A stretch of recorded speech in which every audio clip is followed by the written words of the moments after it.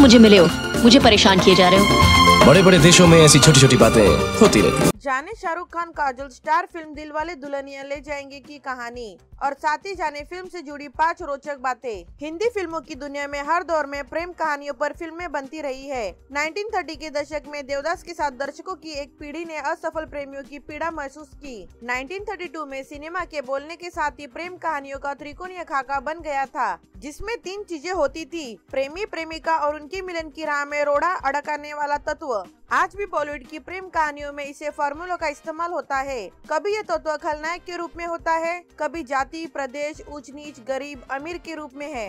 1944 की रतन सुपरहिट थी, जिसका नायिका गोविंदा वैश्य समाज का था तो नायिका गौरी राजपूत समाज की। 1981 की एक दूजे के लिए की तमिल भाषी नायक और उत्तर भारतीय नायिका के मिलन में भाषा के साथ प्रवेशवाद द्रोड़ान बन जाता है। बॉबी के नायक नायिका या मैंने प्यार किया के नायक प्रेम और सुमन के मिलन में अमीरी गरीबी बांधा बन जाती है और प्रेमियों को कड़े इम्तिहान से गुजरना पड़ता है। मुख्य धारा के निर्माताओं का मानना रहा है कि प्रेमी प्रेमिका को मिलन से रोकने वाला तत्व जितना ताकतवर दिखाया जाएगा, फ़िल्म के सफलता के मौके भी उतने ज़्यादा बनेंगे। मगर 25 साल पहले 20 अक्टूबर 1995 को रिलीज़ हुई, दिलवाले दुल्हनिया ले जाएँगे ने इस फॉर्मूले को हाशिए पर पटक दिया। यह ऐसी प्रेम कहानी थी, जिसमें नायक नायिका के मिलन को ऊंच नीच अमीर गरीबी, प्रदेशवाद, जाति या धर्म रोकते नज़र नहीं आते हैं। उसमें नायिका सिमरन का पिता बलदेव सिंह परम्परावादी है तो नायक राज का पिता धर्मवीर मल्होत्रा। खुले विचारों का। नायक नायिका को मिलने से रोकने वाला तत्व परंपरावादी पिता दिखता तो है, मगर होता नहीं, क्योंकि वह तो अंत में कहता है कि जा सिमरन, जी ले अपनी ज़िंदगी।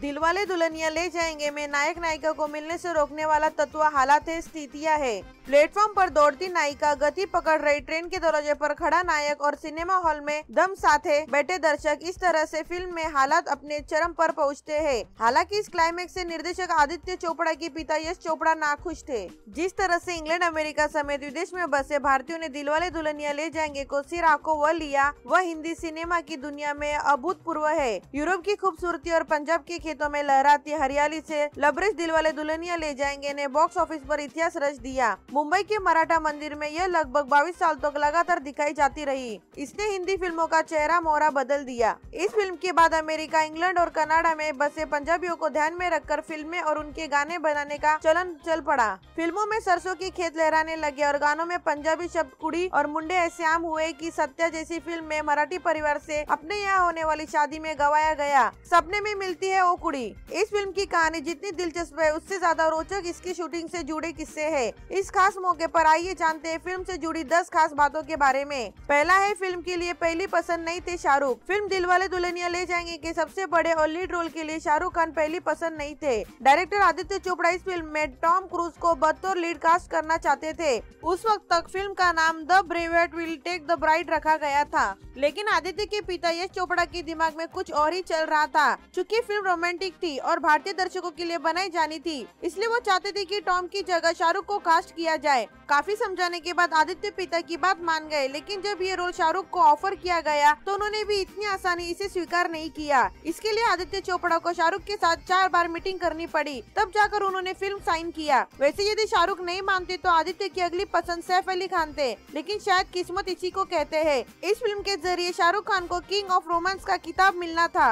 दूसरा है, फ़िल्म का फाइनल टाइटल किरण खेर ने दिया। फ़िल्म का नाम पहले the brave will take the bride रखा गया था, लेकिन अपने जमाने की मशहूर अदाकार किरण खेर को ये नाम सही नहीं लग रहा था। उन्होंने आदित्य चोपड़ा से इसे बदलने की बात कही तो उन्होंने सुझाव मांग दिया। इसके बाद फ़िल्म का टाइटल दिलवाले दुल्हनिया ले जाएँगे, किरण खेर ने सजेस्ट किया था। इस बात का ज़िक्र यशराज फ़िल्म द्वारा पब्लिश की गई बुक आदित्य चोपड़ा रिलीज़ दिलवाले दुल्हनिया ले जाएँगे, में आदित्य चोपड़ा ने खुद किया। उन्होंने लिखा है, किरण जी को यह आइडिया 1974 में आई फ़िल्म चोर मचाए शोर के गाने ले जाएँगे ले जाएँगे, दिलवाले दुल्हनिया ले जाएँगे, सुनकर आया था। जब मैंने उनसे यह आइडिया सुना तो मुझे काफ़ी पसंद आया और यह टाइटल फाइनल हो गया। वैसे टाइटल काफ़ी लंबा था, लेकिन दर्शकों को ये फ़िल्म इतनी पसंद आई कि लोगों ने इसको शॉर्ट में डीडीएलजे कहना भी शुरू कर दिया। खासकर उस वक्त के युवाओं में दिलवाले दुल्हनिया ले जाएँगे की जगह डीडीएलजे कहने का ही चलन था। तीसरा है हॉलीवुड फ़िल्म से प्रेरित था पल्टन सीन। फ़िल्म दिलवाले दुल्हनिया ले जाएँगे में शाहरुख खान पर फिल्माया गया मशहूर पल्टन सीन एक हॉलीवुड फ़िल्म से प्रेरित था। साल 1993 में रिलीज़ क्लीड स्टूवर्ट की American film in the line of fire के एक सीन से पल्टन सीन इंस्पायर्ड था। फ़िल्म के निर्माण निर्देशक आदित्य चोपड़ा ने जब ये फ़िल्म देखी तो इंस्टीट्यूट का उन्हें वो सीन याद रह गया जिसमें एक एक्टर की गर्लफ्रेंड जा रही होती है और वो उसे टर्न होने के लिए कहते हैं। बाद में डीडीएल में उन्होंने इसी सीन से इंस्पायर होकर राज सिमरन पर पलट सीन क्रिएट कर दिया। बताया जाता है कि डीडीएलजे की स्क्रिप्ट लिखने में आदित्य चोपड़ा को केवल एक महीने का समय लगा था। इसके साथ ही भारतीय सिने इतिहास की यह पहली ऐसी फ़िल्म थी जिसने अपनी मेकिंग को भी प्रोड्यूस किया था। तकनीकी तौर पर तब ये उसे बिहाइंड द सीन के नाम से जानते हैं। आदित्य चोपड़े के छोटे भाई उदय चोपड़ा फ़िल्म में उनके असिस्टेंट थे, जिन्हें मेकिंग रिकॉर्ड करने की ज़िम्मेदारी मिली थी। चौथा है शाहरुख खान के किरदार के नाम की कहानी। आदित्य चोपड़ा ने फ़िल्म दिलवाले दुल्हनिया ले जाएँगे, में शाहरुख खान के किरदार का नाम राज रखा है, जो कि बॉलीवुड के सबसे बड़े शोमा ने राज कपूर से प्रेरित था। फ़िल्म में उनका पूरा नाम राजनाथ था, जो कि 1973 की फ़िल्म बॉबी में ऋषि कपूर के नाम से प्रेरित था। फ़िल्म के एक सीन में अनुपम खेर शाहरुख खान को अपने दादा, परम दादा की पढ़ाई में नाकामयाबी के किस्से सुनाते हैं। वो दरअसल अनुपम खेर के संगे अंकल के नाम है, जो कि वाकई पढ़ाई में कुछ खास अच्छे नहीं थे। यही वही पहली फ़िल्म थी जिससे मंदिरा बेदी ने बड़े पर्दे पर अपने एक्टिंग करियर की शुरुआत की थी। फ़िल्म में पहली शाहरुख खान की famous leather jacket Uday Chopra ने कैलिफ़ोर्निया के बेकर्सफील्ड में हॉल डिविडेंस के शोरूम में 400 डॉलर में खरीदी थी। पांचवा है अरमान को ये फ़िल्म भी मिलते मिलते रह गई। Bigg Boss fame actor Armaan Kohli को बॉलीवुड का सबसे दुर्गभाशाली अभिनेता माना जाता है। उन्होंने जितनी फ़िल्में की नहीं है, उससे कई ज़्यादा ठुकराई है। या मिलते मिलते रह गई है। जैसे कि फ़िल्म दीवाना में शाहरुख खान का रोल उनको मिल रहा था, लेकिन उन्होंने इनकार कर दिया। उसी तरह फ़िल्म दिलवाले दुल्हनिया ले जाएँगे में काजोल के किरदार सिमरन के मंगेतर कुलजीत के रोल के लिए भी पहले अरमान कोहली से बात की गई थी, लेकिन ऑडिशन वाले दिन परमित सेट्टी बूट जीन्स और वेस्ट कोट पहन कर आए। तो स्क्रीन टेस्ट में पास हो गए इसके बाद अरमान की जगह परमित को फ़िल्म में कास्ट कर लिया गया। मेहंदी लगा के रखना, गाने में काजल के लिए मनीष मल्होत्रा ने हरे रंग का सूट डिज़ाइन किया। लेकिन आदित्य चोपड़ा ने कहा कि पंजाबी परिवारों में लड़कियाँ लाल, मरून या गुलाबी कपड़े पहनती है। इसके बाद उनके सूट का रंग बदलना पड़ा। इस फ़िल्म का एक मशहूर गाना, तुझे देखा तो ये जाना सनम, गुड़गांव में शूट किया गया था। सबसे पहले आपसे ये जानना चाहेंगे, हाल ही में हमने देखा कि एपिसोड में जिस तरीके से प्रोमो में दिखाया गया आपने सिंबल से बात की है साल सिंबल का भी कुछ रिएक्शन था कि कुछ उनको भी अपनी गलतियाँ पता चल रही है। क्या कहना चाहेंगे? अभी भी दूसरी बार आपका एक आपने सिंबल से बात की है। क्या लग रहा है कुछ समझ पा रही है सिंबल या फिर वही गेम में वो फंसे जा रहे हैं? नहीं, अभी जो कन्वर्सेशन हुआ शंभू समझ पाती है सब। लेकिन प्रॉब्लम सिर्फ़ इतनी सी है कि 18 साल मैंने उसको जिस तरीके से पाला है, जिस तरह से उसको कहानियाँ सुनाई हैं, हमेशा अच्छी बातें बताई हैं तो 18 साल की जो तरबियत है ना, उसको मैं जाके कुछ बोलता हूँ तो वो 18 साल की सीखी हुई चीज़ें एक दिन में वो कैसे चेंज कर पाएगी? अच्छा वो करना भी चाहती है। वो एक दो दिन उसका असर दिखता भी है, लेकिन फिर क्या होता है, फिर वो चारों तरफ़ से लाइनअप होके बार बार उसको वही कन्वर्सेशन वही कन्वर्सेशन हम तुम्हारे हैं, ऐसा है, वैसा है। तो सीधी बात है, चौबीस घंटे जब आप किसी तरह की, इस तरह की चीज़ें करोगे तो फिर से वो डाइवर्ट होती है। और सबसे बड़ी बात है कि उसको अभी तक यही समझ में नहीं आ रहा है कि वो लोगों के द्वारा यूज़ हो रही है। उसको ये लग रहा है कि मैं अपनी फ्रेंडशिप निभा रही हूँ। अब वो फ्रेंडशिप निभाने के चक्कर में ये लोग उसका बहुत फ़ायदा उठा रहे हैं और अब तो उस पूरे घर में सभी लोग ये जान गए हैं कि सुम्बुल को डाइवर्ट करना बहुत आसान चीज़ हो गया है सबके लिए और सबके लिए वो महज एक वोट बैंक बन गई है। लेकिन उसके बावजूद भी चूँकि अभी तक वो जैसी गई थी, वैसी ही है, इस बात का तो मुझे फ़ख्र है कि कम से कम उसने औरों की तरह बाकी चीज़ें नहीं सीखी साथ ही ये भी जानना चाहेंगे जिस तरीके से इमली सीरियल में सभी इतना ज़्यादा पसंद करते थे सुम्बुल के काम को लेकिन जब बिग बॉस के घर में गई तो बहुत लोगों के बहुत सारे कमेंट्स आ रहे हैं कि जितनी उसमें दिखती थी, लेकिन वैसे बिग बॉस के घर में नहीं। सुम्बुल कहीं ना कहीं तुम खेलो। या फिर कहीं हम टीवी सेलेब से भी अगर हम बात कर रहे हैं, उनसे इंटरेक्शन कर रहे हैं तो उनका भी कहीं ना कहीं ये है कि सुम्बुल छोटी है उम्र में, इसलिए कहीं ना कहीं नहीं समझ पा रही है। क्या लगता है, कैसा गेम सुम्बुल का नहीं, देखिए रही बात इमली की तो इमली ने उसको नो डाउट बहुत बड़ी सक्सेस दी है, और आज उसके पूरे विश्व में अगर फ़ैन बने हैं तो इमली की वजह से बने हैं, और उसके बाद वो स्टार रविवार विद स्टार परिवार की वजह से, जहाँ उसको पूरी खुली छूट थी, वो जो चाहे वो करे। और बिग बॉस का फॉर्मेट बिल्कुल अलग है। हम लोग ने चूँकि कभी बिग बॉस फॉलो नहीं किया था, ना सुबुल ने कभी देखा था, ना मैंने कभी देखा था तो मुझे भी यही लगा था कि बिग बॉस में लोग एक दूसरे के प्रति साजिश करते हैं, हटाते हैं, डराते हैं, आगे बढ़ते हैं। पर मुझे ये नहीं मालूम था कि मतलब आप ट्रॉफी के लिए किसी के करेक्टर एसेसिनेशन तक पहुँच जाओगे। और जब ये बातें बार बार होने लगती हैं तो किसी भी बच्चे की जो नेचुरलिटी है ना, वो ख़त्म हो जाती है।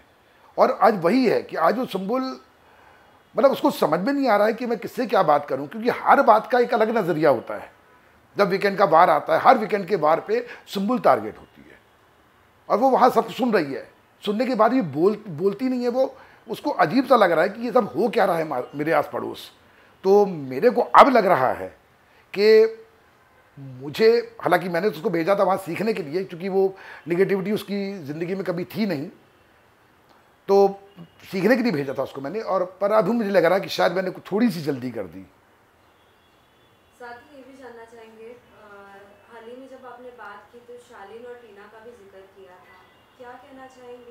तो का जो कैरेक्टर जिस तरीके से सभी देखते थे, उनके वजह से उनका उनका सुम्बुल का कैरेक्टर चेंज दिख रहा है? कितना कुछ, जैसे अभी आपने ज़िक्र की कि एक व्यक्ति के, जिस तरीके से उसे देखा जाता है, लेकिन कुछ लोगों की वजह से कुछ व्यक्ति की देखने की नज़रिया चेंज हो जाता है। आपका इस पर क्या कहना देखिए, मैं उसी बात को आपको कह रहा हूँ कि सुम्बुल ने फ़र्स्ट डे से लेकर आज तक अपने आप को क्लियर रखा है। हर जगह उसने साफ़ साफ़ कहा है कि मेरा शालीन के साथ महज एक दोस्ती का रिश्ता है। जो डे वन से कहती आ रही, आज तक उसी पे अड़ी हुई है। अब एक बात बताइए आप। आप हर व्यक्ति का बॉडी जेस्चर अलग होता है। हर बच्चे की सोच अलग होती है। मैं आपको पहले भी बोल चुका हूँ कि सुम्बुल का मैं सिंगल पेरेंट हूँ तो मैं माँ भी हूँ, उसकी बाप भी हूँ।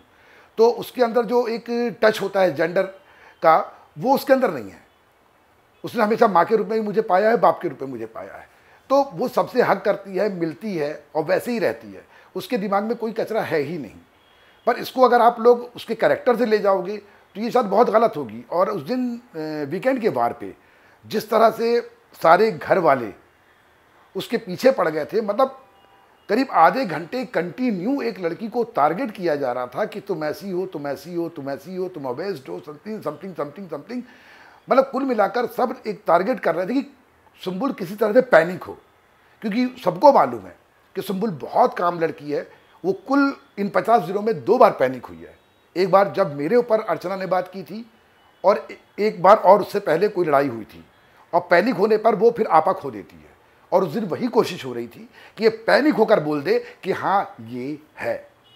लेकिन मैं सल्यूट करता हूँ अपनी बेटी को, उसके पेशेंस को, कि इतना होने के बाद भी, प्रेशर होने के बाद भी वो अपनी बात पे अड़ी रही। और लास्ट में इस पूरे सब्जेक्ट को अलग ही करना पड़ा कि ओके। लेकिन हुआ क्या उसके बाद? जैसे वीकेंड का बार ख़त्म होता है अगेन फिर वही चालू।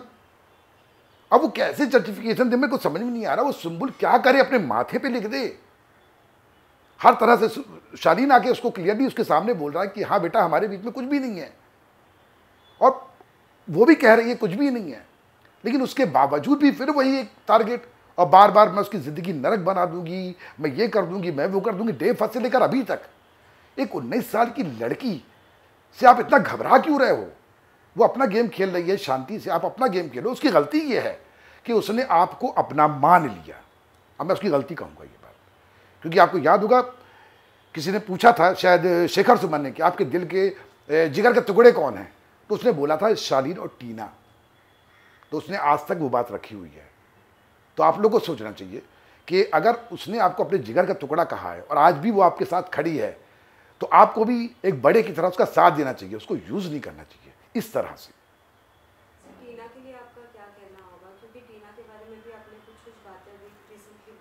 देखिए उस बात को मैं बहुत क्लियरली बताना चाहता हूँ शायद लोगों को नहीं मालूम होगा।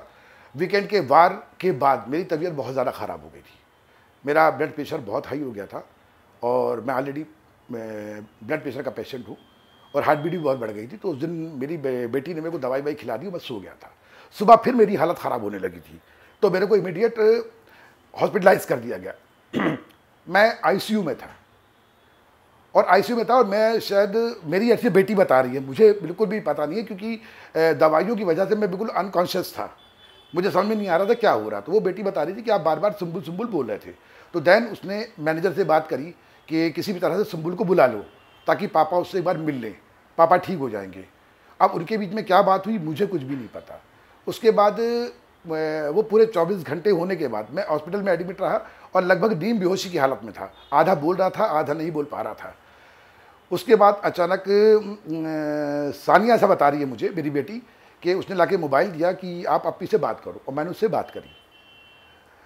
उसके बाद फिर मैं हॉस्पिटल में रहा, मुझे कुछ भी नहीं पता। देन जब मैंने थोड़ा जब नॉर्मल हुआ मैं, उसके बाद मैंने देखा कि प्रोमो में मेरी आवाज़ आ रही है।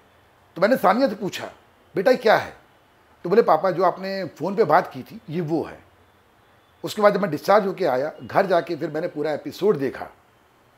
तो पूरा कन्वर्सेशन सुना। उसके बाद मैंने सानिया से पूछा, बेटा, क्या यही सब मैंने बोला है? तो उसने बताया हाँ पापा। फिर मुझे खुद बहुत अजीब लगा स्पेशली दो शब्दों के लिए। एक जो पर्टिकुलर शब्द पे बहुत हाय तोबा मची हुई है कि मुँह पे लात मार देना और एक औकात। तो मैं एक बात तो कहूँगा कि बेटियाँ सबकी साझी होती हैं और मैं किसी बेटी के लिए इस तरह के शब्द सामान्य अवस्था में या नॉर्मल अवस्था में तो नहीं बोल सकता। और यदि आपको विश्वास ना हो तो आपने ध्यान दिया होगा, इससे पहले मैं दो बार बिग बॉस में आया हूँ और दोनों बार मेरी आवाज़ आप तक पहुँची है। पर इस बार मेरी आवाज़ के साथ सब सब टाइटल चल रहा था। क्यों? क्योंकि आवाज़ मेरी क्लियर नहीं आ रही थी। उन्होंने लिख लिख के बताया है कि मैं क्या बोल रहा हूँ। शायद आपको समझ में आ गया होगा कि मैं उस वक्त किस हालत में था। और इन दो पर्टिकुलर शब्दों के लिए मैं नेशनल टीवी पे या आपके सामने मैं उन दो शब्दों के लिए क्षमा माँगता हूँ। क्योंकि मैं हमेशा वुमेन एम्पावरमेंट की बात करता हूँ, लड़कियों की बात करता हूँ, मेरी कविताओं में भी सब्जेक्ट लड़कियाँ ही होती हैं तो मैं किसी लड़की के बारे में जानबूझ के ऐसे शब्द तो नहीं बोल सकता। और इसके लिए मुझे माफ़ी मांगने में कोई भी शर्म नहीं है। क्योंकि ये लफ्ज़ मैंने ना तो कभी बोला चाहे हैं और ना मैंने अपनी बेटियों को कभी सिखाया है। अनकॉन्शियसली हो सकता है मेरे मुँह से निकल गए हों, उसके लिए मैं क्षमा माँगता हूँ। लेकिन एक बात और कहना चाहूँगा, और स्पेशली टीना की मम्मी से। देखिए, एक मेरे शब्द से आप कितना आहत हुई आपकी आँख से आँसू निकले। तो आपने कभी सोचा कि डे वन से लेकर आज तक मेरी बेटी के लिए टीना ने कौन कौन से शब्द इस्तेमाल नहीं किए? कभी लगा आपको कि एक बंदा जो सिंगल पेरेंट है, जो माँ भी है, बाप भी है, उसके दिल पे क्या बीत रही होगी? कम से कम आप बड़ा दिल दिखाकर एक बार मुझको फ़ोन करके बोलती कि मेरी बेटी ऐसा बोल रही है, उसके लिए क्षमा। और मेरे एक शब्द से हाहाकार मच गया है। तो ये तो मेरे को, हालाँकि मैं अपने आप को जस्टिफाई नहीं कर रहा हूँ। कि शब्द बोलकर मैं उसको जस्टिफाई करूँ? नहीं, ये शब्द गलत है और मेरी शब्दकोश में ये शब्द नहीं थे। अनकॉन्शियस अनकॉन्शियस हालत में मेरे साथ ये हुआ है, उसके लिए मैं क्षमा माँगता हूँ। लेकिन जिस तरह से आज भी, इतना होने के बाद भी आपकी बेटी, मेरी बेटी का बोल रही कि मैं इसका जीवन नरक कर दूँगी तो मेरे को लगता है कि मैं एक शब्द के लिए आके माफ़ी मांग रहा हूँ तो आपको पचास दिन के हर शब्दों के लिए माफ़ी मांगना चाहिए।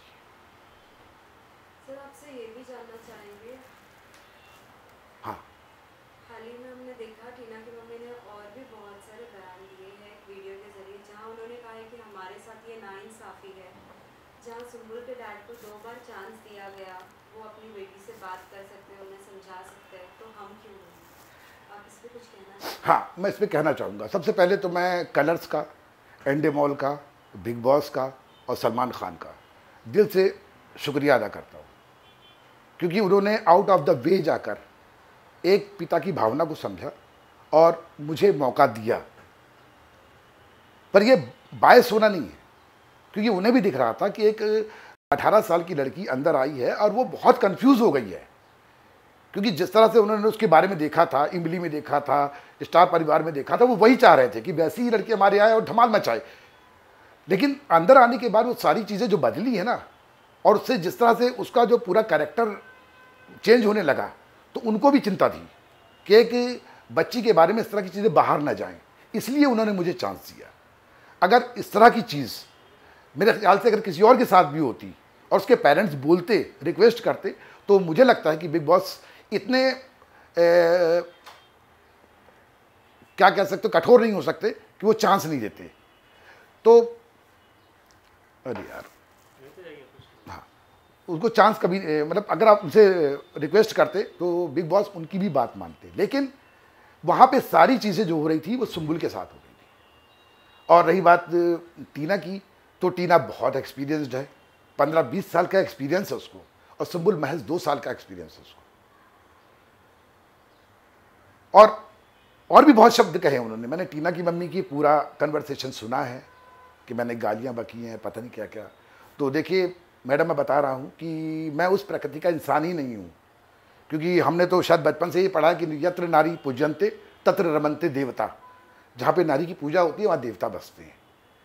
तो मैं तो खुद उसी हृदय का इंसान हूँ। मैं तो हमेशा बेटियों को सर पे लेके चलता हूँ। तो मैं ऐसा तो कभी कर नहीं सकता।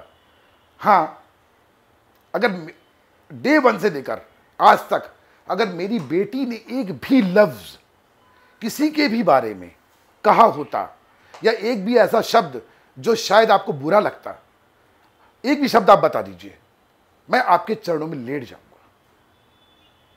लेकिन आप मेरी बेटी के संस्कारों पे आवाज़ उठा रही है तो कम से कम पूरे एपिसोड एक बार दिल से देखिए और एक माँ की तरह देखिए। फिर आप बताइए फिर आप जो कहेंगी वो मानने को तैयार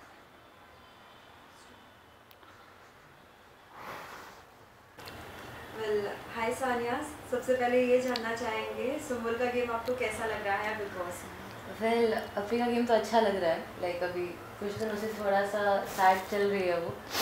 तो हाँ इट्स गोइंग गुड आगे और अच्छा होगा. I am sure about that well और और भी सुमुल के बहुत सारे अंदर फ्रेंड्स बने हैं।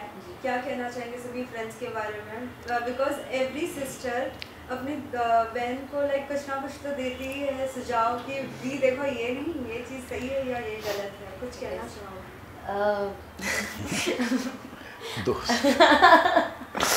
मुझे एक्चुअली कोई आइडिया नहीं है मुझे क्या बोलना चाहिए इस पर बिकॉज़ जो दोस्त वर्ड है वो बिग बॉस में है ही नहीं।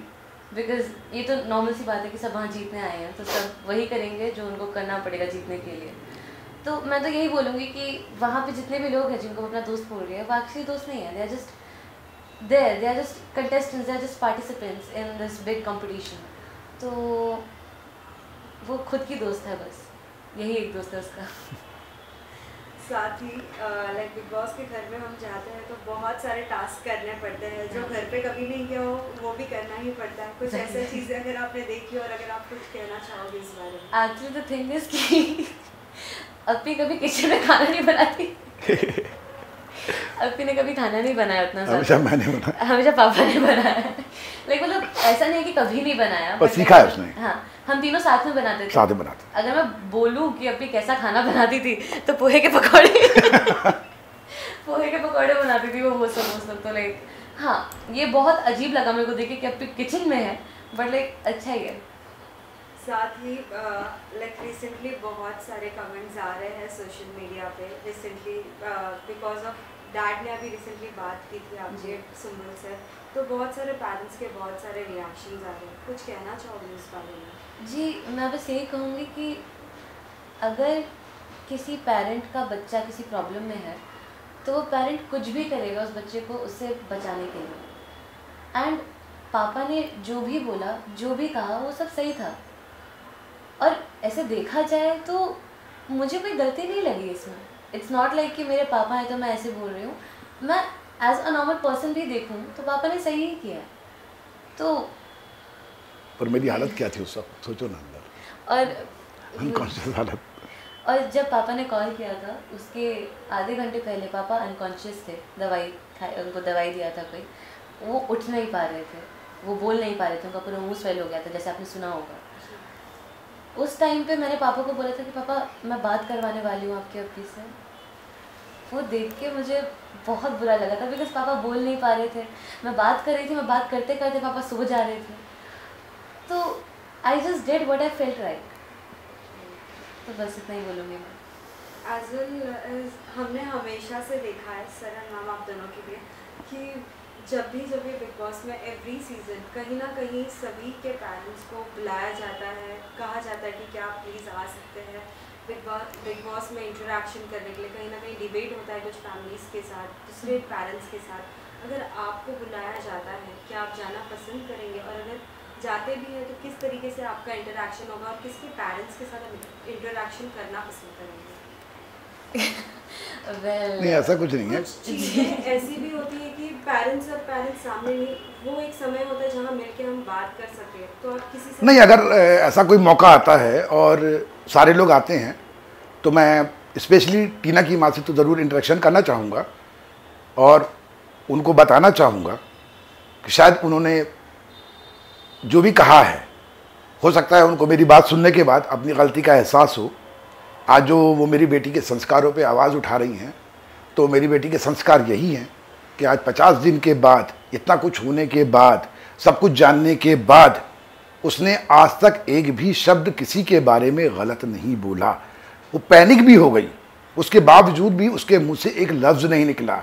और जबकि मैं, जो अपने आप को बहुत समझदार कहता हूँ सबको शिक्षा देता हूँ। ये सब देखने के बाद मेरे शब्द गलत हो गए।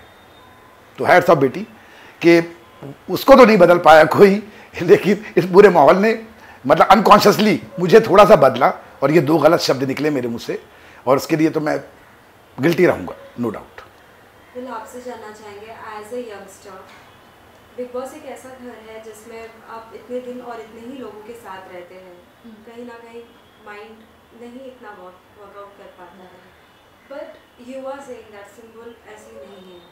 लेकिन कई लोगों के द्वारा ये भी सुनने आ रहा है जब जब हम जिस किसी से रिएक्शन ले रहे हैं she is eighty she should understand that much ये कह रहे हैं। साथ ही ये भी कहीं ना कहीं शालीन के साथ जो इंटरेक्शन दिखा रहे हैं how much is this good to the viewers और क्या कुछ आप कहना चाहोगे कि ये सब चीज़ें कितनी दिखानी चाहिए कितनी नहीं गेम के लिए ये सब चीज़ करना चाहिए या नहीं? तो थिंग इज़ कि अगर मैं बोलूँगी कितना दिखाना चाहिए कितना नहीं तो कोई सुनेगा तो नहीं फ़र्स्ट ऑफ़ एंड दूसरी बात मैं यही बोलूँगी कि बिग बॉस ऐसी जगह जहाँ पे आप जाते हो तो you don't know any one वहाँ पे. एंड उनके साथ आपको तीन चार महीने गुजारने हैं साथ में. तो इट्स ऑलरेडी हार्ड एंड अपी और मैं कभी भी ऐसे माहौल में नहीं रहे. लाइक like, इतना टॉक्सिसिटी इतना लड़ाई इतना झगड़ा. मैं देखती हूँ तो मुझे भी बुरा लगता है कि हाउ कैन शी लिव वहाँ पे? तो वही देख के मुझे प्राउड फील होता है कि एटलीस्ट मेरी बहन सर्वाइव तो कर रही है। लाइक इवन दो सब माइंड गेम खेल रहे हैं इतना शातिर चल रहा है उनकी लाइफ में हुआ होगा हमारे साथ नहीं हुआ कभी नहीं एक चीज़ एक, एक चीज़ और बोलना चाहूँगा मैं कि अभी बीच में भी कई लोग अब्दू से उसको कंपेयर कर रहे थे Exactly. कि उन्नीस साल का अब्दू भी है अठारह साल की सुम्बुल है और दोनों में कितना डिफरेंस है। तो यहाँ पे मैं आपको बता दूँ कि अब्दू ने जो संघर्ष किया है ना वो किसी ने नहीं किया। उसने सड़क पे खड़े कोई गाना गाया है, पैसे बटोरे हैं, सब्ज़ी बेची है, हर वो चीज़ की है जहाँ निगेटिविटी होती है। पता नहीं कितना सुना होगा उसने। पर मेरी बेटियों के साथ वो नहीं है, उनके शेड के लिए मैं खड़ा था हमेशा। हाँ ठीक है, हम लोग कभी भूखे रहे, लेकिन हम लोग ने, इनको मैंने कभी इस तरह से खड़ा नहीं किया, किसी के सामने कि ये कुछ करें। तो इनके अंदर निगेटिविटी कभी आई नहीं, एक शेड रहा इनके साथ हमेशा। और यही वजह है जो आज वो बिल्कुल सीधी सादी, क्योंकि उसने निगेटिविटी अपनी लाइफ में देखी ही नहीं है। तो अगर आप जो अब्दू से उसको आप कंपेयर करते हो तो कंपेयर एज वाइज मत करिए, क्योंकि अब्दू का एक्सपीरियंस बहुत एक्सट्रीम है। उसने जो संघर्ष किया है, उसके लिए तो हेड साफ़ उसको, और सुम्बुल का संघर्ष अलग है। तो उसके जीवन को थोड़ा सा सही लाइन पे लाने के लिए थोड़ा सा दुनिया से परिचय कराने के लिए बिग बॉस में ले गया था मैं उसको। और लेके आया हूँ, और वो सीख भी रही है, और जब वो बाहर आएगी, वो सारे एपिसोड देखेगी तो शायद ज़िंदगी को ज़्यादा अच्छा समझ जाएगी।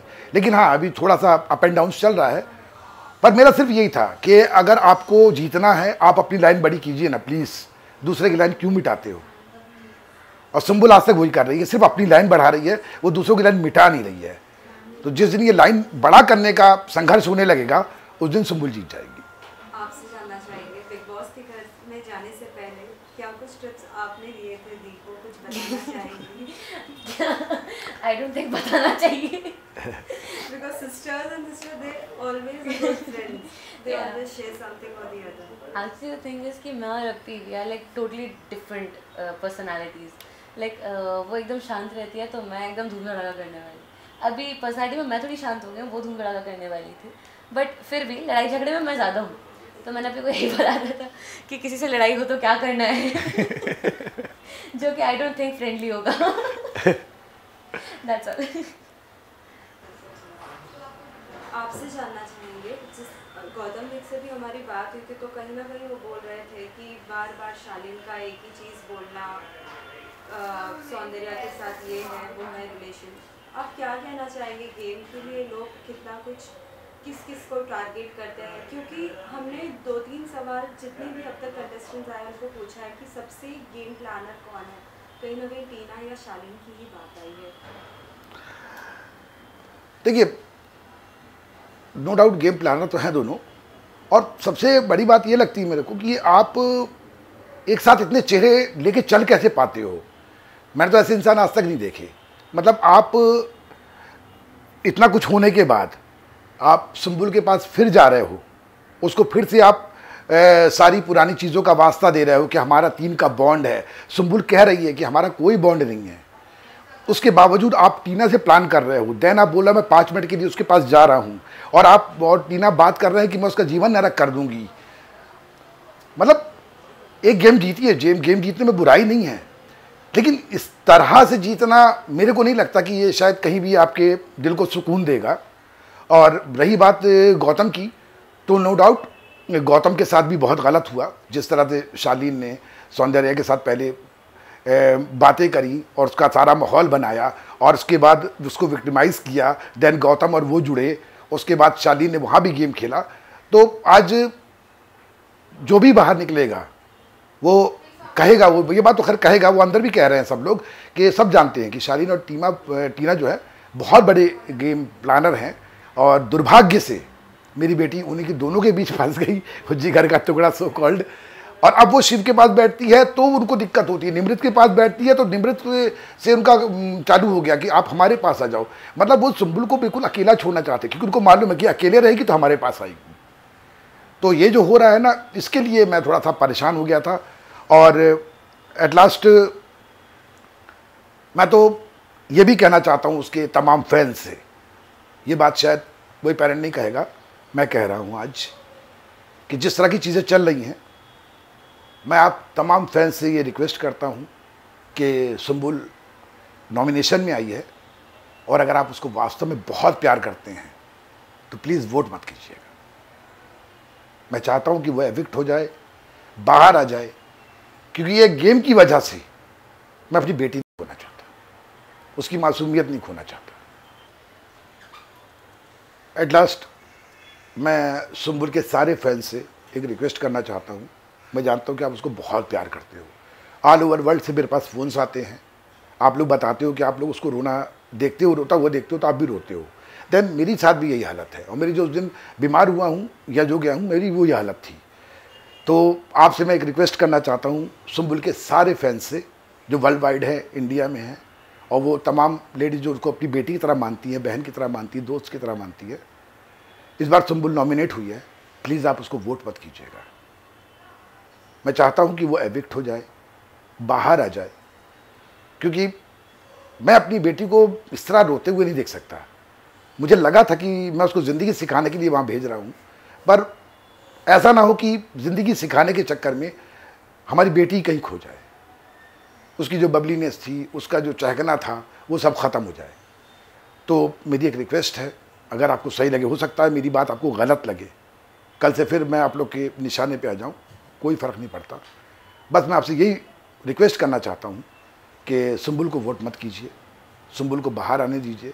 एक बार फिर हम उसके साथ बैठेंगे, फिर उसके अंदर वो पुरानी वाली सुम्बुल जगाएँगे और तब आप भी खुश हो जाएँगे और मैं भी, क्योंकि ये गेम के लिए मैं अपनी बेटी नहीं खोना चाहता। सर, एक आखिरी सवाल। सुम्बुल भी बार बार अंदर कह रही है कि मुझे बाहर निकाल दो, मुझे बाहर आना है। लेकिन कुछ कंटेस्टेंट्स ऐसे भी होते हैं कि कहीं ना कहीं वो मदद करना चाहते हैं, लेकिन वो हमें अंदर नहीं पता होता है। आपको लगता है कि कोई ऐसा है कंटेस्टेंट जो सुम्बुल का साथ देना चाहता है और अभी भी सुम्बुल गेम खेल सकती नहीं, देखिए सुम्बुल जो बार बार बाहर आने की बात कर रही है ना आप खुद देखिए उस दिन। उसने सुम्बुल एक दिन लो हो गई थी हल्का सा, उसने टीना से अपने बल की दिल की बात शेयर करी कि, दीदी, मुझे नहीं रहना है, बाहर जाना है। टीना ने इस बात को एक फ्रेंडली समझती, उसको समझाती। नहीं, उसने ऐसा नहीं किया।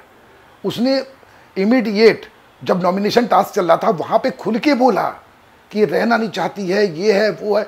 मतलब क्या ये? वो बोल रही दीदी, मैं लो हो गई थी, आपसे मैंने दिल की बात शेयर करी।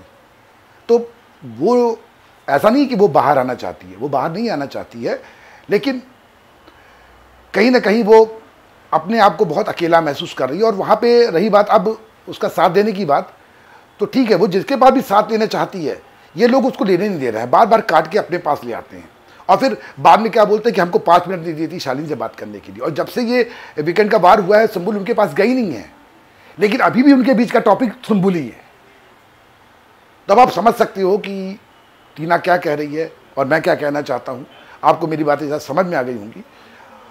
तो बस आप मेरी फीलिंग को समझे, जो मैं कहना चाह रहा था। बाकी ऊपर वाला संबुल के साथ है, मुझे मालूम है। क्योंकि वो कुछ भी नहीं करेगी तो भी पेरिस का टिकट जीत गई है। और मुझे लग रहा है कि आगे सब अच्छा ही होगा।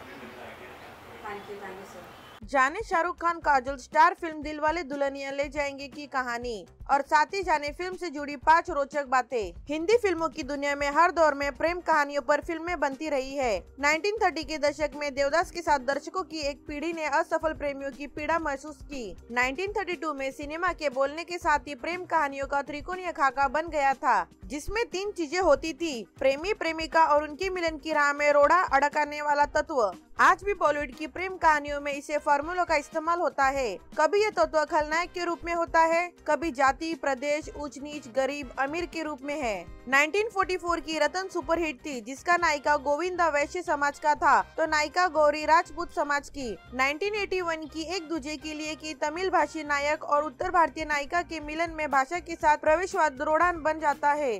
बॉबी के नायक नायिका या मैंने प्यार किया के नायक प्रेम और सुमन के मिलन में अमीरी गरीबी बांधा बन जाती है और प्रेमियों को कड़े इम्तिहान से गुजरना पड़ता है। मुख्य धारा के निर्माताओं का मानना रहा है कि प्रेमी प्रेमिका को मिलन से रोकने वाला तत्व जितना ताकतवर दिखाया जाएगा, फ़िल्म के सफलता के मौके भी उतने ज़्यादा बनेंगे। मगर 25 साल पहले 20 अक्टूबर 1995 को रिलीज़ हुई दिलवाले दुल्हनिया ले जाएँगे ने इस फॉर्मूले को हाशिए पर पटक दिया। यह ऐसी प्रेम कहानी थी जिसमें नायक नायिका के मिलन को ऊंच नीच अमीर गरीबी, प्रदेशवाद, जाति या धर्म रोकते नज़र नहीं आते हैं। उसमें नायिका सिमरन का पिता बलदेव सिंह परंपरावादी है तो नायक राज का पिता धर्मवीर मल्होत्रा। खुले विचारों का। नायक नायिका को मिलने से रोकने वाला तत्व परंपरावादी पिता दिखता तो है, मगर होता नहीं, क्योंकि वह तो अंत में कहता है कि जा सिमरन, जी ले अपनी ज़िंदगी। दिलवाले दुल्हनिया ले जाएँगे, में नायक नायिका को मिलने से रोकने वाला तत्व, हालात है, स्थितियाँ है।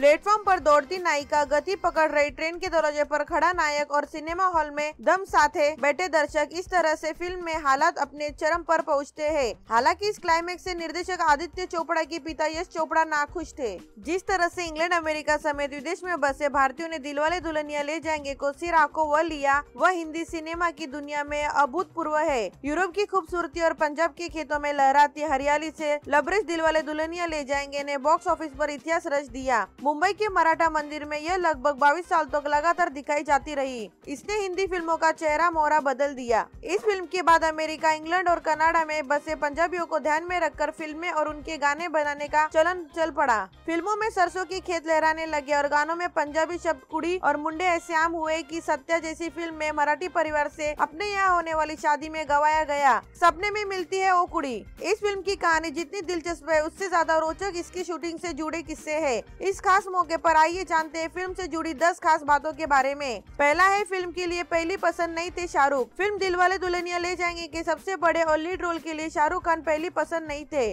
डायरेक्टर आदित्य चोपड़ा इस फ़िल्म में टॉम क्रूज को बतौर लीड कास्ट करना चाहते थे। उस वक्त तक फ़िल्म का नाम the brave will take the bride रखा गया था। लेकिन आदित्य के पिता यश चोपड़ा के दिमाग में कुछ और ही चल रहा था। चूँकि फ़िल्म रोमांटिक थी और भारतीय दर्शकों के लिए बनाई जानी थी, इसलिए वो चाहते थे कि टॉम की जगह शाहरुख को कास्ट किया जाए। काफ़ी समझाने के बाद आदित्य पिता की बात मान गए, लेकिन जब ये रोल शाहरुख को ऑफ़र किया गया तो उन्होंने भी इतनी आसानी इसे स्वीकार नहीं किया। इसके लिए आदित्य चोपड़ा को शाहरुख के साथ चार बार मीटिंग करनी पड़ी, तब जाकर उन्होंने फ़िल्म साइन किया। वैसे यदि शाहरुख नहीं मानते तो आदित्य की अगली पसंद सैफ अली खान थे, लेकिन शायद किस्मत इसी को कहते हैं। इस फ़िल्म के ज़रिए शाहरुख खान को किंग ऑफ़ रोमांस का किताब मिलना था।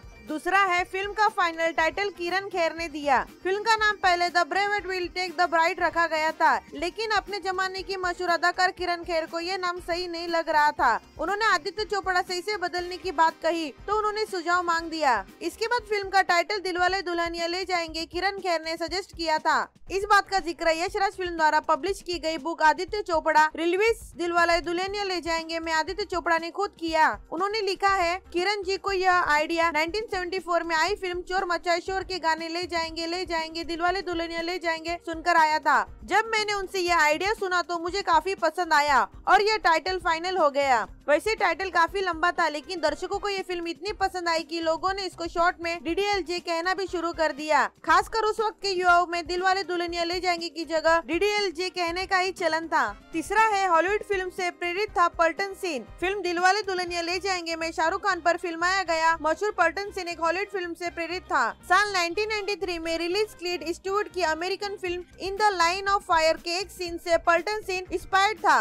फ़िल्म के निर्माण निर्देशक आदित्य चोपड़ा ने जब ये फ़िल्म देखी तो इंस्टीट्यूट का उन्हें वो सीन याद रह गया जिसमें एक एक्टर की गर्लफ्रेंड जा रही होती है और वो उसे टर्न होने के लिए कहते हैं। बाद में डीडीएल में उन्होंने इसी सीन से इंस्पायर होकर राज सिमरन पर पलट सीन क्रिएट कर दिया। बताया जाता है कि डीडीएलजे की स्क्रिप्ट लिखने में आदित्य चोपड़ा को केवल एक महीने का समय लगा था। इसके साथ ही भारतीय सिने इतिहास की यह पहली ऐसी फ़िल्म थी जिसने अपनी मेकिंग को भी प्रोड्यूस किया था। तकनीकी तौर पर तब ये उसे बिहाइंड द सीन के नाम से जानते हैं। आदित्य चोपड़े के छोटे भाई उदय चोपड़ा फ़िल्म में उनके असिस्टेंट थे, जिन्हें मेकिंग रिकॉर्ड करने की ज़िम्मेदारी मिली थी। चौथा है शाहरुख खान के किरदार के नाम की कहानी। आदित्य चोपड़ा ने फ़िल्म दिलवाले दुल्हनिया ले जाएँगे, में शाहरुख खान के किरदार का नाम राज रखा है, जो कि बॉलीवुड के सबसे बड़े शोमा ने राज कपूर से प्रेरित था। फ़िल्म में उनका पूरा नाम राजनाथ था, जो कि 1973 की फ़िल्म बॉबी में ऋषि कपूर के नाम से प्रेरित था। फ़िल्म के एक सीन में अनुपम खेर शाहरुख खान को अपने दादा परम दादा की पढ़ाई में नाकामयाबी के किस्से सुनाते हैं। वो दरअसल अनुपम खेर के संगे अंकल के नाम है, जो कि वाकई पढ़ाई में कुछ खास अच्छे नहीं थे।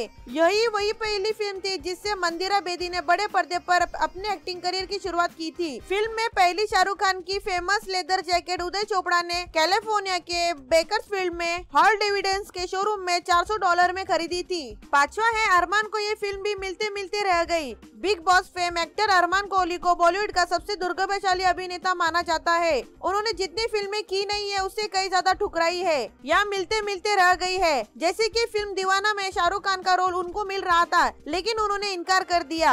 उसी तरह फ़िल्म दिलवाले दुल्हनिया ले जाएँगे में काजोल के किरदार सिमरन के मंगेतर कुलजीत के रोल के लिए भी पहले अरमान कोहली से बात की गई थी, लेकिन ऑडिशन वाले दिन परमित सेट्टी बूट जीन्स और वेस्ट कोट पहन कर आए तो स्क्रीन टेस्ट में पास हो गई इसके बाद अरमान की जगह परमित को फ़िल्म में कास्ट कर लिया गया। मेहंदी लगा के रखना, गाने में काजल के लिए मनीष मल्होत्रा ने हरे रंग का सूट डिज़ाइन किया। लेकिन आदित्य चोपड़ा ने कहा कि पंजाबी परिवारों में लड़कियाँ लाल, मरून या गुलाबी कपड़े पहनती है। इसके बाद उनके सूट का रंग बदलना पड़ा। इस फ़िल्म का एक मशहूर गाना तुझे देखा तो ये जाना सनम गुड़गांव में शूट किया गया था। जाने शाहरुख खान, काजल, स्टार फ़िल्म दिलवाले दुल्हनिया ले जाएँगे की कहानी। और साथ ही जाने फ़िल्म से जुड़ी पाँच रोचक बातें। हिंदी फ़िल्मों की दुनिया में हर दौर में प्रेम कहानियों पर फ़िल्में बनती रही है। 1930 के दशक में देवदास के साथ दर्शकों की एक पीढ़ी ने असफल प्रेमियों की पीड़ा महसूस की। 1932 में सिनेमा के बोलने के साथ ही प्रेम कहानियों का त्रिकोणीय खाका बन गया था, जिसमें तीन चीज़ें होती थी, प्रेमी प्रेमिका और उनकी मिलन की राह में रोड़ा अड़काने वाला तत्व। आज भी बॉलीवुड की प्रेम कहानियों में इसे फॉर्मूलों का इस्तेमाल होता है। कभी ये तत्व खलनायक के रूप में होता है, कभी जाति प्रदेश ऊंच नीच गरीब अमीर के रूप में है। 1944 की रतन सुपरहिट थी, जिसका नायिका गोविंदा वैश्य समाज का था। तो नायिका गौरी राजपूत समाज की। 1981 की एक दूजे के लिए की तमिल भाषी नायक और उत्तर भारतीय नायिका के मिलन में भाषा के साथ प्रवेशवाद रोडान बन जाता है। बॉबी के नायक नायिका या मैंने प्यार किया के नायक प्रेम और सुमन के मिलन में अमीरी गरीबी बांधा बन जाती है और प्रेमियों को कड़े इम्तिहान से गुजरना पड़ता है। मुख्य धारा के निर्माताओं का मानना रहा है कि प्रेमी प्रेमिका को मिलन से रोकने वाला तत्व जितना ताकतवर दिखाया जाएगा, फ़िल्म के सफलता के मौके भी उतने ज़्यादा बनेंगे। मगर 25 साल पहले 20 अक्टूबर 1995 को रिलीज़ हुई, दिलवाले दुल्हनिया ले जाएँगे ने इस फॉर्मूले को हाशिए पर पटक दिया। यह ऐसी प्रेम कहानी थी, जिसमें नायक नायिका के मिलन को ऊंच नीच अमीर गरीबी, प्रदेशवाद, जाति या धर्म रोकते नज़र नहीं आते हैं। उसमें नायिका सिमरन का पिता बलदेव सिंह परम्परावादी है तो नायक राज का पिता धर्मवीर मल्होत्रा। खुले विचारों का नायक नायिका को मिलने से रोकने वाला तत्व परम्परावादी पिता दिखता तो है, मगर होता नहीं, क्योंकि वह तो अंत में कहता है कि जा सिमरन, जी ले अपनी ज़िंदगी। दिलवाले दुल्हनिया ले जाएँगे, में नायक नायिका को मिलने से रोकने वाला तत्व हालात है, स्थितियाँ है। प्लेटफॉर्म पर दौड़ती नायिका गति पकड़ रही ट्रेन के दरवाजे पर खड़ा नायक और सिनेमा हॉल में दम साथे बैठे दर्शक इस तरह से फ़िल्म में हालात अपने चरम पर पहुँचते हैं। हालाँकि इस क्लाइमेक्स से निर्देशक आदित्य चोपड़ा के पिता यश चोपड़ा नाखुश थे। जिस तरह से इंग्लैंड, अमेरिका समेत विदेश में बसे भारतीयों ने दिलवाले दुल्हनिया ले जाएँगे को सिरा को वह लिया, वह हिंदी सिनेमा की दुनिया में अभूतपूर्व है। यूरोप की खूबसूरती और पंजाब के खेतों में लहराती हरियाली से लबरेज दिलवाले दुल्हनिया ले जाएँगे ने बॉक्स ऑफ़िस पर इतिहास रच दिया। मुंबई के मराठा मंदिर में यह लगभग बाईस साल तक लगातार दिखाई जाती रही। इसने हिंदी फ़िल्मों का चेहरा मोहरा बदल दिया। इस फ़िल्म के बाद अमेरिका, इंग्लैंड और कनाडा में बसे पंजाबियों को ध्यान में रखकर फ़िल्में और उनके गाने बनाने का चलन चल पड़ा। फ़िल्मों में सरसों की खेत लहराने लगे और गानों में पंजाबी शब्द कुड़ी और मुंडे ऐसे आम हुए की सत्या जैसी फ़िल्म में मराठी परिवार से अपने यहाँ होने वाली शादी में गवाया गया। सपने में मिलती है वो कुड़ी। इस फ़िल्म की कहानी जितनी दिलचस्प है, उससे ज़्यादा रोचक इसकी शूटिंग से जुड़े किस्से है। इस खास मौके पर आइए जानते हैं फ़िल्म से जुड़ी दस खास बातों के बारे में। पहला है, फ़िल्म के लिए पहली पसंद नहीं थे शाहरुख। फ़िल्म दिलवाले दुल्हनिया ले जाएँगे के सबसे बड़े और लीड रोल के लिए शाहरुख खान पहली पसंद नहीं थे। डायरेक्टर आदित्य चोपड़ा इस फ़िल्म में टॉम क्रूज को बतौर लीड कास्ट करना चाहते थे। उस वक्त तक फ़िल्म का नाम the brave will take the bride रखा गया था।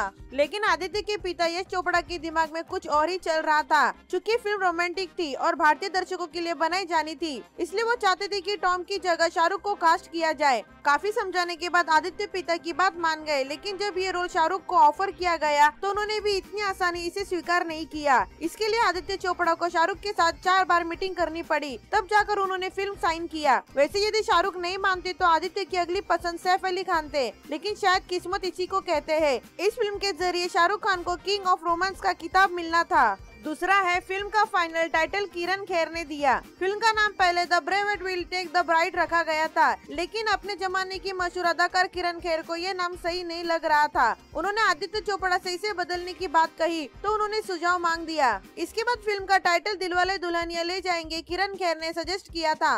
इस बात का ज़िक्र यशराज फ़िल्म द्वारा पब्लिश की गई बुक आदित्य चोपड़ा रिलीज़ दिलवाले दुल्हनिया ले जाएँगे, में आदित्य चोपड़ा ने खुद किया। उन्होंने लिखा है, किरण जी को यह आइडिया 1974 में आई फ़िल्म चोर मचाए शोर के गाने ले जाएँगे ले जाएँगे, दिलवाले दुल्हनिया ले जाएँगे सुनकर आया था। जब मैंने उनसे यह आइडिया सुना तो मुझे काफ़ी पसंद आया और यह टाइटल फाइनल हो गया। वैसे टाइटल काफ़ी लंबा था, लेकिन दर्शकों को ये फ़िल्म इतनी पसंद आई कि लोगों ने इसको शॉर्ट में डीडीएलजे कहना भी शुरू कर दिया। खासकर उस वक्त के युवाओं में दिल वाले दुल्हनिया ले जाएँगे की जगह डीडीएलजे कहने का ही चलन था। तीसरा है हॉलीवुड फ़िल्म से प्रेरित था पल्टन सीन। फ़िल्म दिल वाले दुल्हनिया ले जाएँगे में शाहरुख खान पर फिल्माया गया मशहूर पल्टन सीन एक हॉलीवुड फ़िल्म से प्रेरित था। साल 1993 में रिलीज़ क्लीड स्टूवर्ट की American film in the line of fire के एक सीन से पल्टन सीन इंस्पायर्ड था। फ़िल्म के निर्माण निर्देशक आदित्य चोपड़ा ने जब ये फ़िल्म देखी तो इंस्टीट्यूट का उन्हें वो सीन याद रह गया जिसमें एक एक्टर की गर्लफ्रेंड जा रही होती है और वो उसे टर्न होने के लिए कहते हैं। बाद में डीडीएल में उन्होंने इसी सीन से इंस्पायर होकर राज सिमरन पर पलट सीन क्रिएट कर दिया। बताया जाता है कि डीडीएलजे की स्क्रिप्ट लिखने में आदित्य चोपड़ा को केवल एक महीने का समय लगा था। इसके साथ ही भारतीय सिने इतिहास की यह पहली ऐसी फ़िल्म थी जिसने अपनी मेकिंग को भी प्रोड्यूस किया था। तकनीकी तौर पर तब ये उसे बिहाइंड द सीन के नाम से जानते हैं। आदित्य चोपड़े के छोटे भाई उदय चोपड़ा फ़िल्म में उनके असिस्टेंट थे, जिन्हें मेकिंग रिकॉर्ड करने की ज़िम्मेदारी मिली थी। चौथा है शाहरुख खान के किरदार के नाम की कहानी। आदित्य चोपड़ा ने फ़िल्म दिलवाले दुल्हनिया ले जाएँगे में शाहरुख खान के किरदार का नाम राज रखा है, जो कि बॉलीवुड के सबसे बड़े शोमा ने राज कपूर से प्रेरित था। फ़िल्म में उनका पूरा नाम राजनाथ था, जो कि 1973 की फ़िल्म बॉबी में ऋषि कपूर के नाम से प्रेरित था। फ़िल्म के एक सीन में अनुपम खेर शाहरुख खान को अपने दादा, परम दादा की पढ़ाई में नाकामयाबी के किस्से सुनाते हैं। वो दरअसल अनुपम खेर के संगे अंकल के नाम है, जो कि वाकई पढ़ाई में कुछ खास अच्छे नहीं थे। यही वही पहली फ़िल्म थी जिससे मंदिरा बेदी ने बड़े पर्दे पर अपने एक्टिंग करियर की शुरुआत की थी। फ़िल्म में पहली शाहरुख खान की famous leather jacket Uday Chopra ने कैलिफ़ोर्निया के बेकर्सफील्ड में हॉल डिविडेंस के शोरूम में 400 डॉलर में खरीदी थी।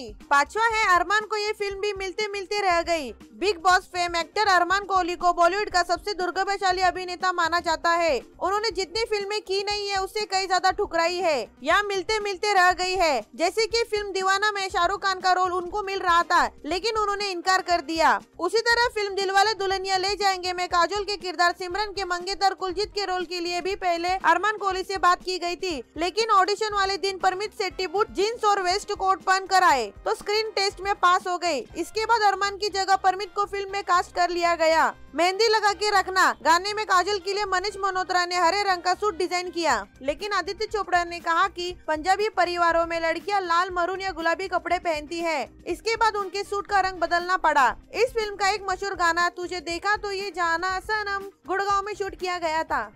जाने शाहरुख खान, काजल, स्टार फ़िल्म दिलवाले दुल्हनिया ले जाएँगे की कहानी। और साथ ही जाने फ़िल्म से जुड़ी पाँच रोचक बातें। हिंदी फ़िल्मों की दुनिया में हर दौर में प्रेम कहानियों पर फ़िल्में बनती रही है। 1930 के दशक में देवदास के साथ दर्शकों की एक पीढ़ी ने असफल प्रेमियों की पीड़ा महसूस की। 1932 में सिनेमा के बोलने के साथ ही प्रेम कहानियों का त्रिकोणीय खाका बन गया था, जिसमें तीन चीज़ें होती थी, प्रेमी प्रेमिका और उनकी मिलन की राह में रोड़ा अड़काने वाला तत्व। आज भी बॉलीवुड की प्रेम कहानियों में इसे फॉर्मूलों का इस्तेमाल होता है।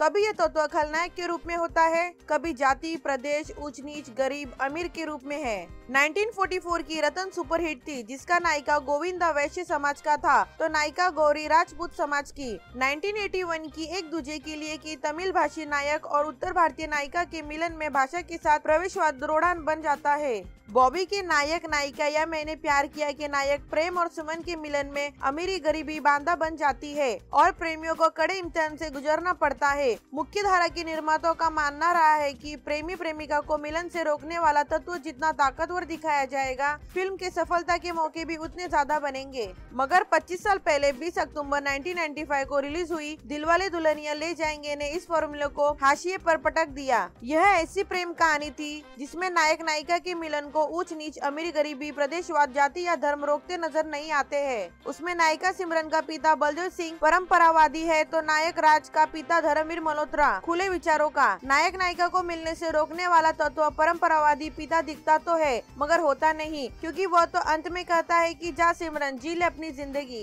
दिलवाले दुल्हनिया ले जाएँगे, में नायक नायिका को मिलने से रोकने वाला तत्व, हालात है, स्थितियाँ है। प्लेटफॉर्म पर दौड़ती नायिका गति पकड़ रही ट्रेन के दरवाजे पर खड़ा नायक और सिनेमा हॉल में दम साथे बैठे दर्शक इस तरह से फ़िल्म में हालात अपने चरम पर पहुँचते हैं। हालाँकि इस क्लाइमेक्स से निर्देशक आदित्य चोपड़ा के पिता यश चोपड़ा नाखुश थे। जिस तरह से इंग्लैंड, अमेरिका समेत विदेश में बसे भारतीयों ने दिलवाले दुल्हनिया ले जाएँगे, को सिर आँखों वह लिया वह हिंदी सिनेमा की दुनिया में अभूतपूर्व है। यूरोप की खूबसूरती और पंजाब के खेतों में लहराती हरियाली से लबरेज दिलवाले दुल्हनिया ले जाएँगे। ने बॉक्स ऑफ़िस पर इतिहास रच दिया। मुंबई के मराठा मंदिर में यह लगभग 22 साल तक लगातार दिखाई जाती रही। इसने हिंदी फ़िल्मों का चेहरा मोहरा बदल दिया। इस फ़िल्म के बाद अमेरिका, इंग्लैंड और कनाडा में बसे पंजाबियों को ध्यान में रखकर फ़िल्में और उनके गाने बनाने का चलन चल पड़ा। फ़िल्मों में सरसों की खेत लहराने लगे और गानों में पंजाबी शब्द कुड़ी और मुंडे ऐसे आम हुए कि सत्या जैसी फ़िल्म में मराठी परिवार से अपने यहाँ होने वाली शादी में गवाया गया। सपने में मिलती है वो कुड़ी। इस फ़िल्म की कहानी जितनी दिलचस्प है, उससे ज़्यादा रोचक इसकी शूटिंग से जुड़े किस्से है। इस खास मौके पर आइए जानते हैं फ़िल्म से जुड़ी दस खास बातों के बारे में। पहला है फ़िल्म के लिए पहली पसंद नहीं थे शाहरुख। फ़िल्म दिलवाले दुल्हनिया ले जाएँगे के सबसे बड़े और लीड रोल के लिए शाहरुख खान पहली पसंद नहीं थे। डायरेक्टर आदित्य चोपड़ा इस फ़िल्म में टॉम क्रूज को बतौर लीड कास्ट करना चाहते थे। उस वक्त तक फ़िल्म का नाम the brave will take the bride रखा गया था। लेकिन आदित्य के पिता यश चोपड़ा के दिमाग में कुछ और ही चल रहा था। चूँकि फ़िल्म रोमांटिक थी और भारतीय दर्शकों के लिए बनाई जानी थी, इसलिए वो चाहते थे कि टॉम की जगह शाहरुख को कास्ट किया जाए। काफ़ी समझाने के बाद आदित्य पिता की बात मान गए, लेकिन जब ये रोल शाहरुख को ऑफ़र किया गया तो उन्होंने भी इतनी आसानी इसे स्वीकार नहीं किया। इसके लिए आदित्य चोपड़ा को शाहरुख के साथ चार बार मीटिंग करनी पड़ी, तब जाकर उन्होंने फ़िल्म साइन किया। वैसे यदि शाहरुख नहीं मानते तो आदित्य की अगली पसंद सैफ अली खान थे, लेकिन शायद किस्मत इसी को कहते हैं। इस फ़िल्म के ज़रिए शाहरुख खान को किंग ऑफ़ रोमांस का किताब मिलना था। दूसरा है, फ़िल्म का फाइनल टाइटल किरण खेर ने दिया। फ़िल्म का नाम पहले the brave will take the bride रखा गया था, लेकिन अपने जमाने की मशहूर अदाकार किरण खेर को ये नाम सही नहीं लग रहा था। उन्होंने आदित्य चोपड़ा से इसे बदलने की बात कही तो उन्होंने सुझाव मांग दिया। इसके बाद फ़िल्म का टाइटल दिलवाले दुल्हनिया ले जाएँगे, किरण खेर ने सजेस्ट किया था।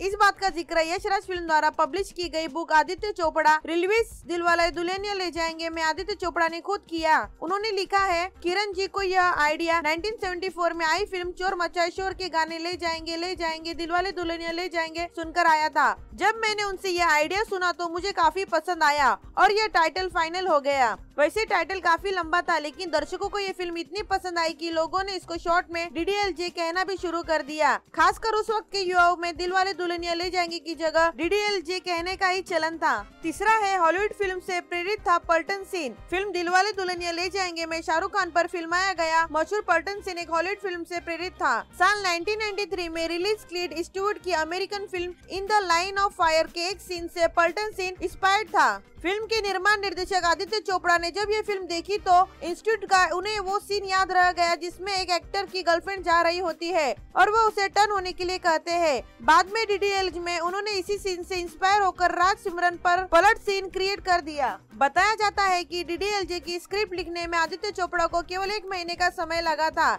इसके साथ ही भारतीय सिने इतिहास की यह पहली ऐसी फ़िल्म थी जिसने अपनी मेकिंग को भी प्रोड्यूस किया था। तकनीकी तौर पर तब ये उसे बिहाइंड द सीन के नाम से जानते हैं। आदित्य चोपड़े के छोटे भाई उदय चोपड़ा फ़िल्म में उनके असिस्टेंट थे, जिन्हें मेकिंग रिकॉर्ड करने की ज़िम्मेदारी मिली थी। चौथा है शाहरुख खान के किरदार के नाम की कहानी। आदित्य चोपड़ा ने फ़िल्म दिलवाले दुल्हनिया ले जाएँगे में शाहरुख खान के किरदार का नाम राज रखा है, जो कि बॉलीवुड के सबसे बड़े शोमा ने राज कपूर से प्रेरित था। फ़िल्म में उनका पूरा नाम राजनाथ था, जो कि 1973 की फ़िल्म बॉबी में ऋषि कपूर के नाम से प्रेरित था। फ़िल्म के एक सीन में अनुपम खेर शाहरुख खान को अपने दादा परम दादा की पढ़ाई में नाकामयाबी के किस्से सुनाते हैं। वो दरअसल अनुपम खेर के संगे अंकल के नाम है, जो कि वाकई पढ़ाई में कुछ खास अच्छे नहीं थे।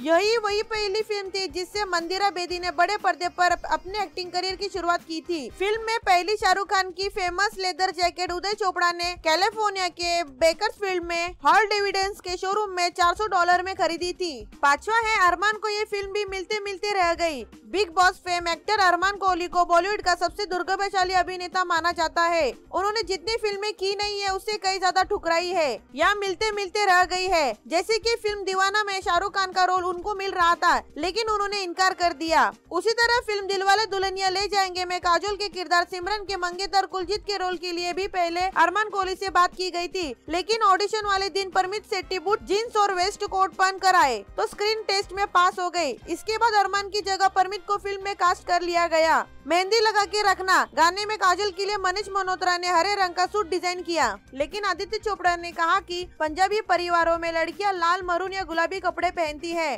इसके बाद उनके सूट का रंग बदलना पड़ा। इस फ़िल्म का एक मशहूर गाना, तुझे देखा तो ये जाना सनम, गुड़गांव में शूट किया गया था।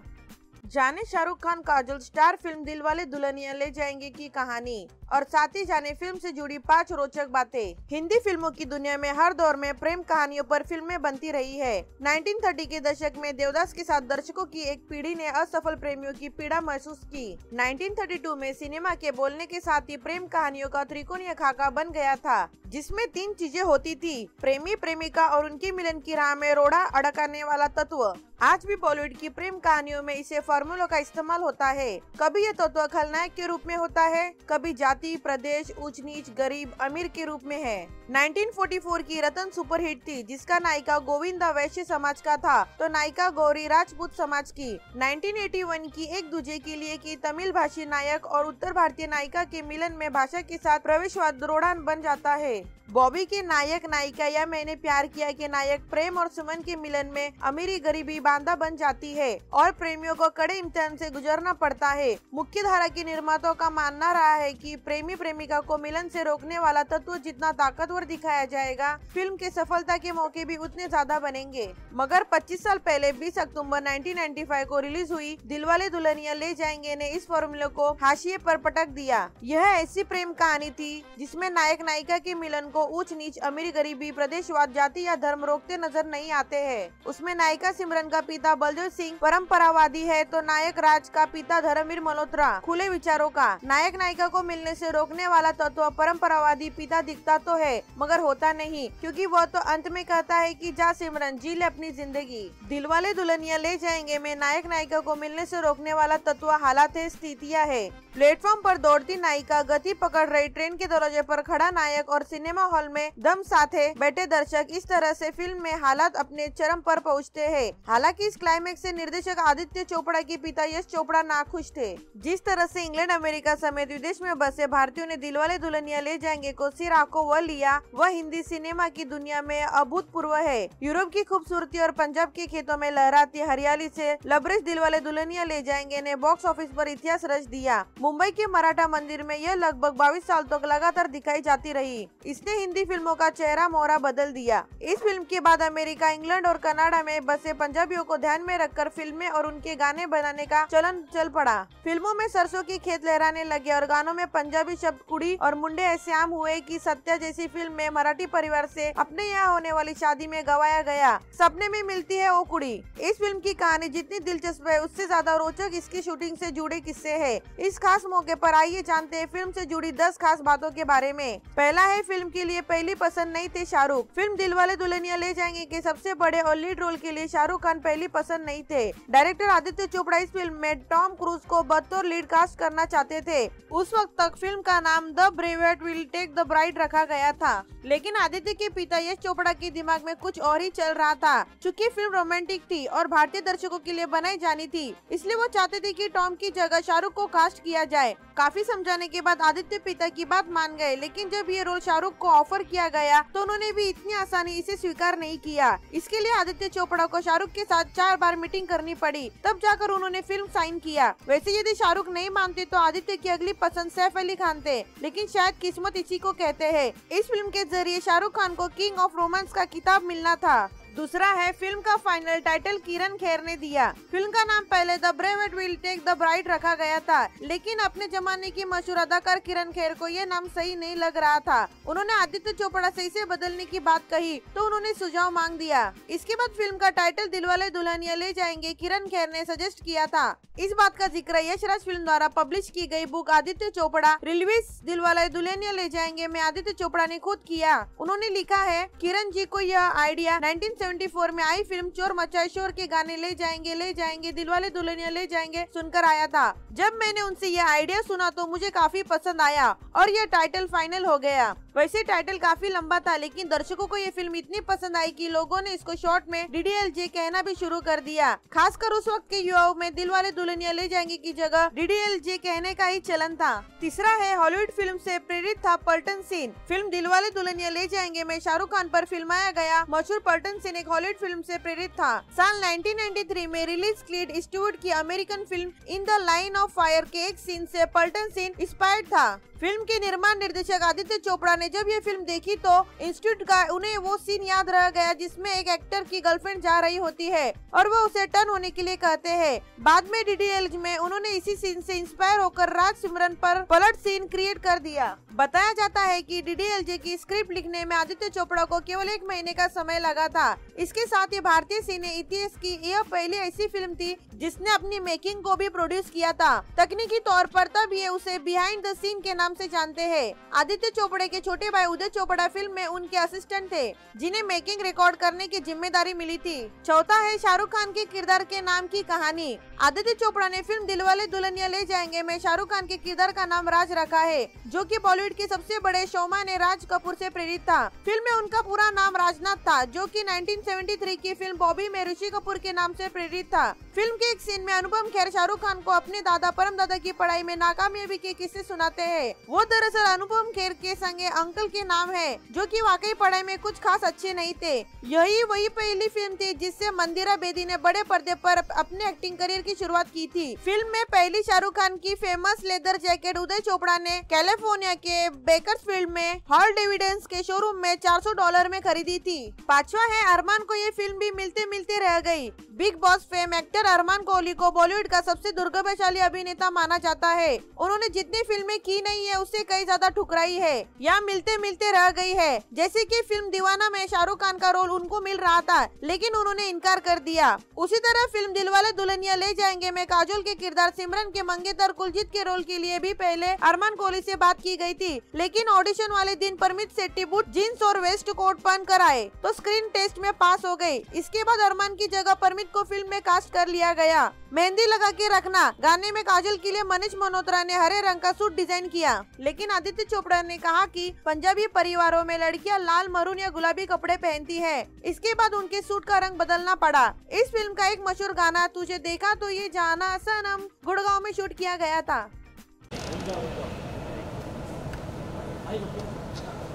कैमरा हाँ?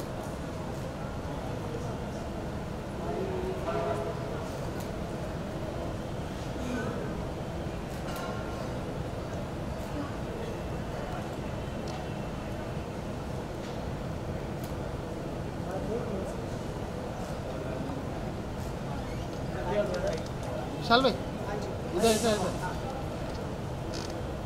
ऐसे टर्न होइए ना राइट नहीं अभी करें कि रुक के कर ले भाई। आ जाओ सामने फिर कम निशु, आशु आओ एक बार ऐसे कर हाँ भाई आओ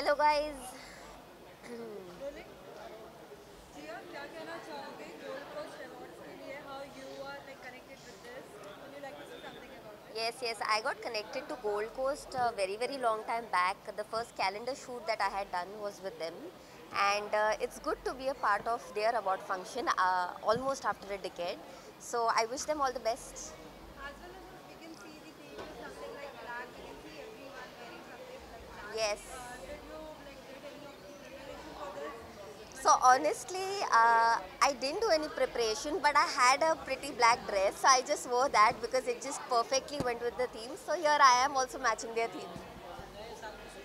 Yes.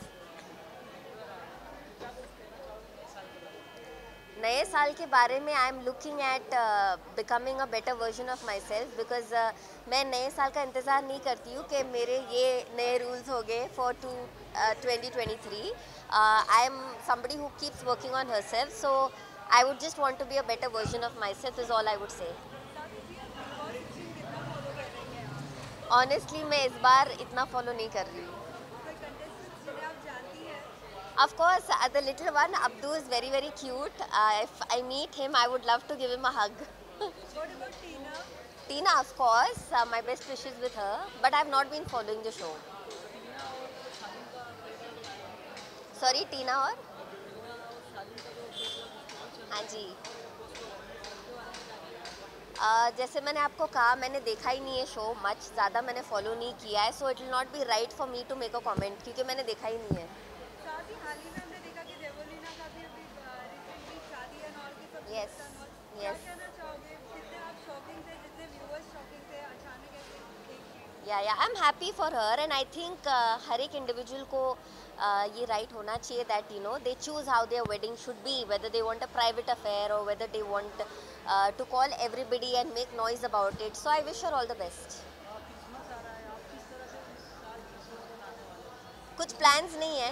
हाँ जी yes yes yes so I am looking at baking a nice cake and having a good time with my loved ones क्या करूँगी वो आई थिंक एक दिन पहले डिसाइड होगा जिया और भी कौन से आपके तरफ़ से सरप्राइजेस देखने को मिलेंगे कुछ बताना चाहिए any of your projects I think, like you mentioned earlier, it will be a surprise only. हाँ, why not? I am open. Uh, if it comes, I am very open to take it up. Lastly new year wish to all the viewers मेरे सारे दर्शकों को audiences को fans को मेरी जिया माने की ओर से yours wishing a very very very happy new year be safe be good and be a better version of yourself thank you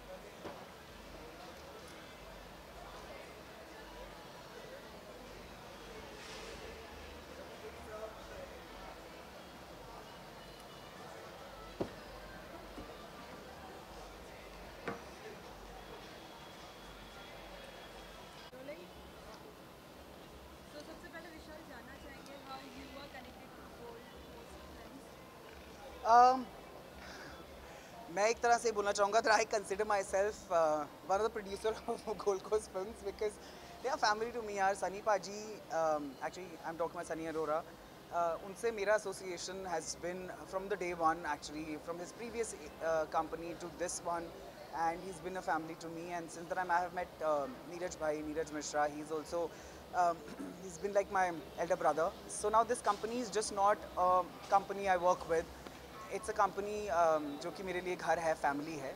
So I am really excited about this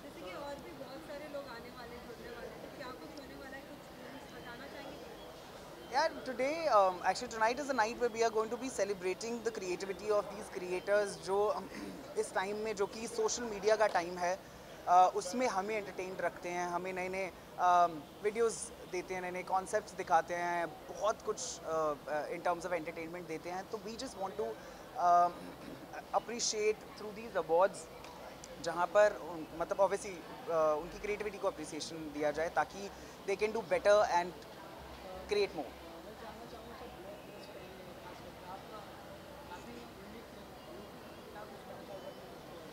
so I am wearing this designer called Atul Singh is a very young very talented designer और the reason only I got so attracted to this one is little out of the box और मैंने हमेशा से industry में I am known for wearing something which is not obviously into a box और जो बहुत ही ऑब्वियस ना हो. So I is a very talented guy I am really happy that he. Chose me to wear his creation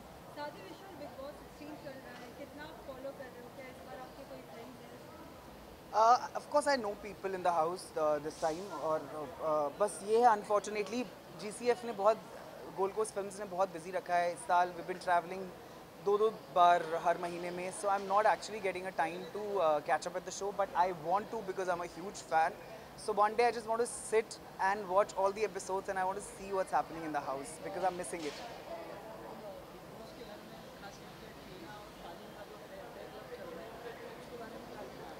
ये देखिए मैंने show नहीं देखा है तो मैं नहीं बता पाऊँगा कि क्या रिलेशनशिप है उनके बीच में बट दोनों को मैं अच्छे से जानता हूँ इंडस्ट्री के बाहर।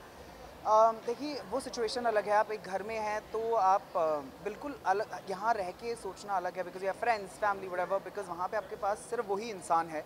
सो so, कभी भी कैसे भी इन्फैचुएशंस फीलिंग्स हो सकती हैं। अब मुझे नहीं पता कि क्या चल रहा है और क्या रियल है और क्या फेक है so but let me watch and see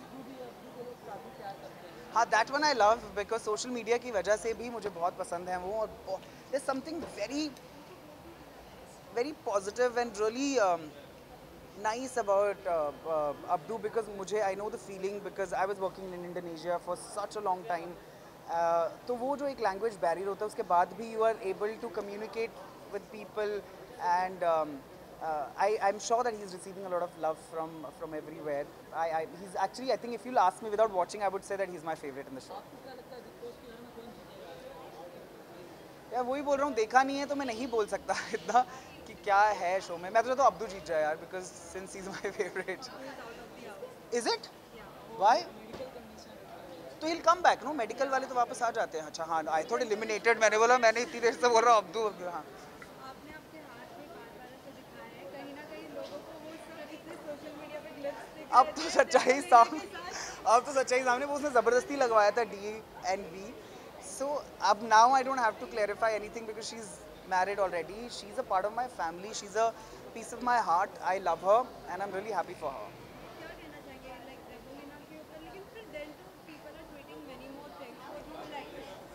देखिए this is the price you pay being of being a celebrity because आपकी लाइफ आपकी नहीं होती है जब आप uh, जब आप uh, ऐसा ऐसे प्रोफेशन में होते हैं जो जिसमें आप लोगों से सीधा जुड़े हुए हैं।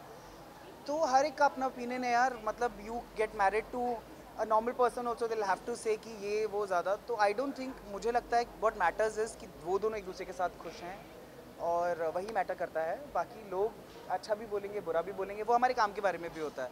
So it's a part of our job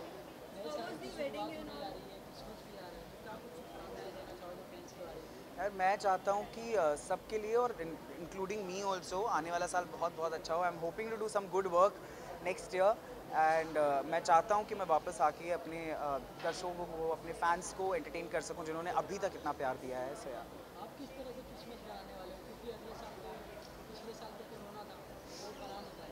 मैंने इस बार थैंक्स गिविंग भी मनाया मैं क्रिसमस भी फैमिली के साथ ही मनाऊँगा और न्यू ईयर्स भी फैमिली के साथ मनाऊँगा। जो भी मुझे जानते हैं वो जानते हैं that I am very close to my family so whatever I am going to be doing it will be definitely with my family it was very compact बहुत ही। uh, प्यार भरा बहुत ही कॉम्पैक्ट था और मैं आई थिंक उसको और ज़्यादा रिस्पेक्ट करने लग गया हूँ उसके बाद because she followed our heart and and we were within everything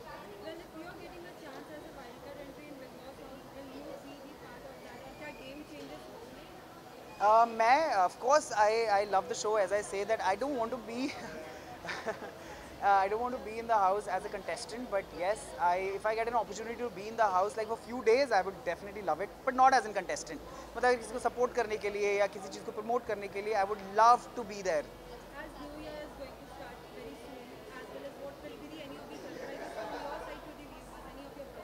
Um, so I recently uh, shot for a music video for Bhat Camp, and Bhat Camp um, is known for their songs. So I'm really excited for this one. It's going to be a big one, and, and it's coming soon.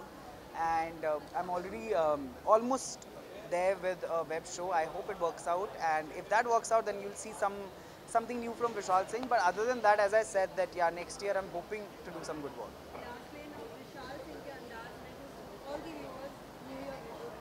यार, यही है विशाल सिंह का अंदाज।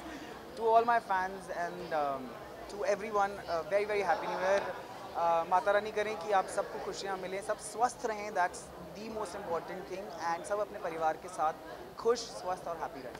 Thank you thank you यहाँ पर, पहले phone रख देती हूँ। अरे फ़ोन में बहुत वज़न है ना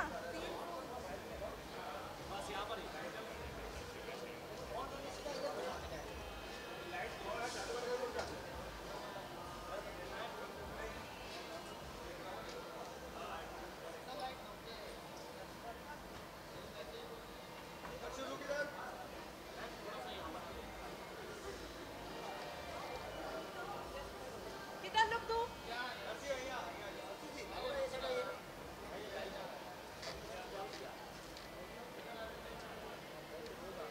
ड्रेस अगर फूल है तो बता देना कुछ ज़्यादा ही फूल है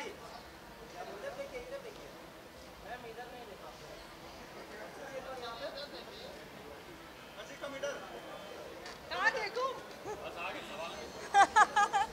ओके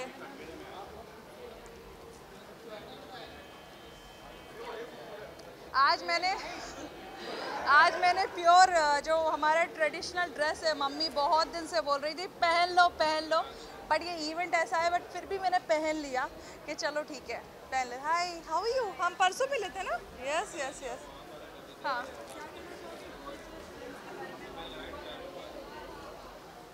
अब हम कनेक्टेड होंगे डेफिनेटली मैं ऑलरेडी कनेक्टेड हूँ इससे, यार।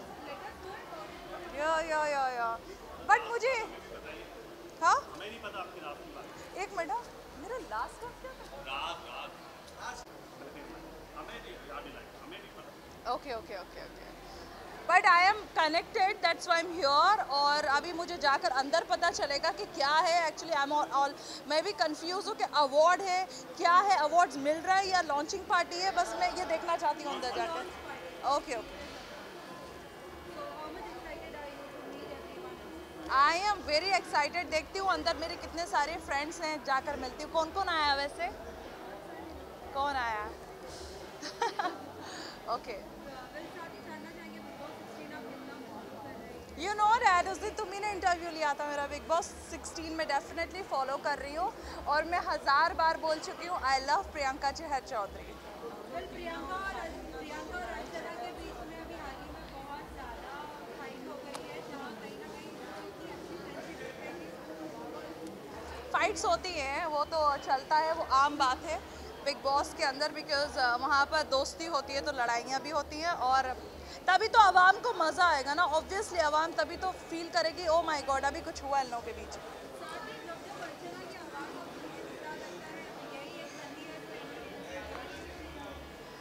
नहीं, ऐसा हाँ, आवाज़ से एंटरटेनमेंट नहीं हाँ लेकिन वो स्पार्क है डेफिनेटली और बहुत अच्छा खेल रही है वो भी बहुत अच्छा खेल रही है। बट अब तो आउट हो गया मैंने देखा।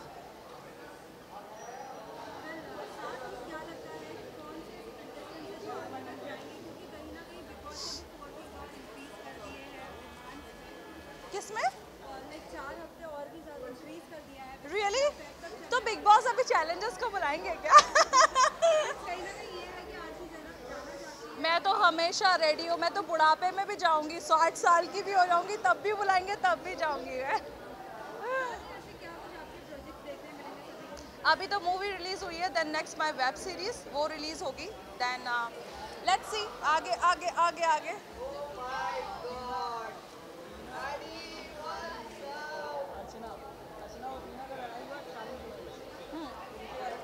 अरे अभी वो जाने उनका काम जाने। मेरे को क्या टीना शालीन अर्चना की लड़ाई हुई? मेरे को क्या मतलब है? मुझे बिग बॉस में मज़ा आ रहा है और लड़ लड़ेंगे नहीं तो फिर मज़ा कैसे आएगा? बिल्कुल शांत बैठे रहेंगे।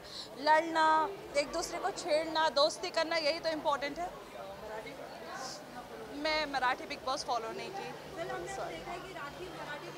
अरे यार तुम यू आस्किंग मी नहीं पता नहीं मैंने नहीं देखा। आई डोंट नो हाँ? मैंने नहीं देखा। साजिद मुझे आ, मुझे नहीं पता उनको उनको मैं पर्सनली नहीं जानती बाखुदा लेकिन मैंने जितना भी उन्हें बिग बॉस में देखा वो मुझे बहुत अच्छे लगे। काफ़ी जहीन लगे मतलब बहुत ही ज़्यादा समझदार लगे और उनका जो बात करने का तरीका था समझाने का तरीका था उससे वो काफ़ी मेच्योर पर्सनैलिटी लगे। बाकी मुझे पर्सनली बिल्कुल बाखुदा नहीं पता कि वो कैसे इंसान है नहीं नहीं, चिल्लाया नहीं, उन्होंने समझाया कि आप एक ही बात को बार बार दोहरा रहे हैं।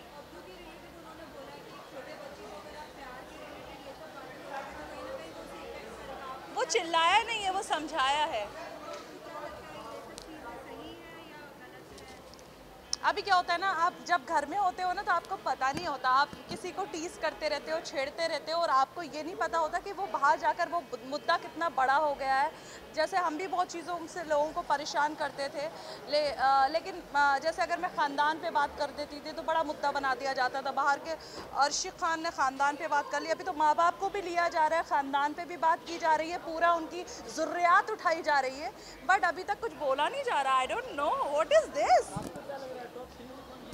top three I think Priyanka और uh, मैंने सोचा था टॉप फाइव अब्दू होगा बट अब्दू निकल गया। Uh, प्रियंका अंकित और uh, शिव।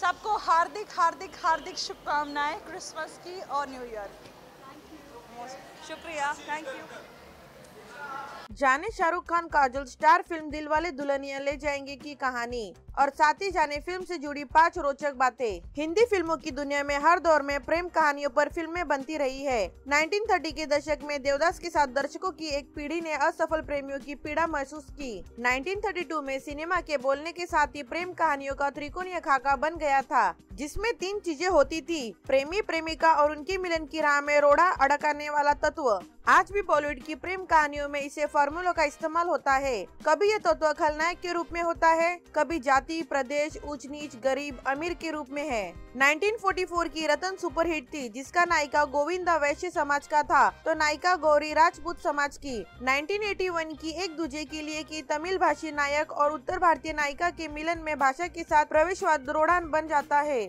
बॉबी के नायक नायिका या मैंने प्यार किया के नायक प्रेम और सुमन के मिलन में अमीरी गरीबी बांधा बन जाती है और प्रेमियों को कड़े इम्तिहान से गुजरना पड़ता है। मुख्य धारा के निर्माताओं का मानना रहा है कि प्रेमी प्रेमिका को मिलन से रोकने वाला तत्व जितना ताकतवर दिखाया जाएगा, फ़िल्म के सफलता के मौके भी उतने ज़्यादा बनेंगे। मगर 25 साल पहले 20 अक्टूबर 1995 को रिलीज़ हुई दिलवाले दुल्हनिया ले जाएँगे ने इस फॉर्मूले को हाशिए पर पटक दिया। यह ऐसी प्रेम कहानी थी जिसमें नायक नायिका के मिलन को ऊंच नीच अमीर गरीबी, प्रदेशवाद, जाति या धर्म रोकते नज़र नहीं आते हैं। उसमें नायिका सिमरन का पिता बलदेव सिंह परम्परावादी है तो नायक राज का पिता धर्मवीर मल्होत्रा। खुले विचारों का। नायक नायिका को मिलने से रोकने वाला तत्व परम्परावादी पिता दिखता तो है, मगर होता नहीं, क्योंकि वह तो अंत में कहता है कि जा सिमरन, जी ले अपनी ज़िंदगी। दिल वाले दुल्हनिया ले जाएँगे, में नायक नायिका को मिलने से रोकने वाला तत्व हालात है, स्थितियाँ है। प्लेटफॉर्म पर दौड़ती नायिका गति पकड़ रही ट्रेन के दरवाजे पर खड़ा नायक और सिनेमा हॉल में दम साथे बैठे दर्शक इस तरह से फ़िल्म में हालात अपने चरम पर पहुँचते हैं। हालाँकि इस क्लाइमेक्स से निर्देशक आदित्य चोपड़ा के पिता यश चोपड़ा नाखुश थे।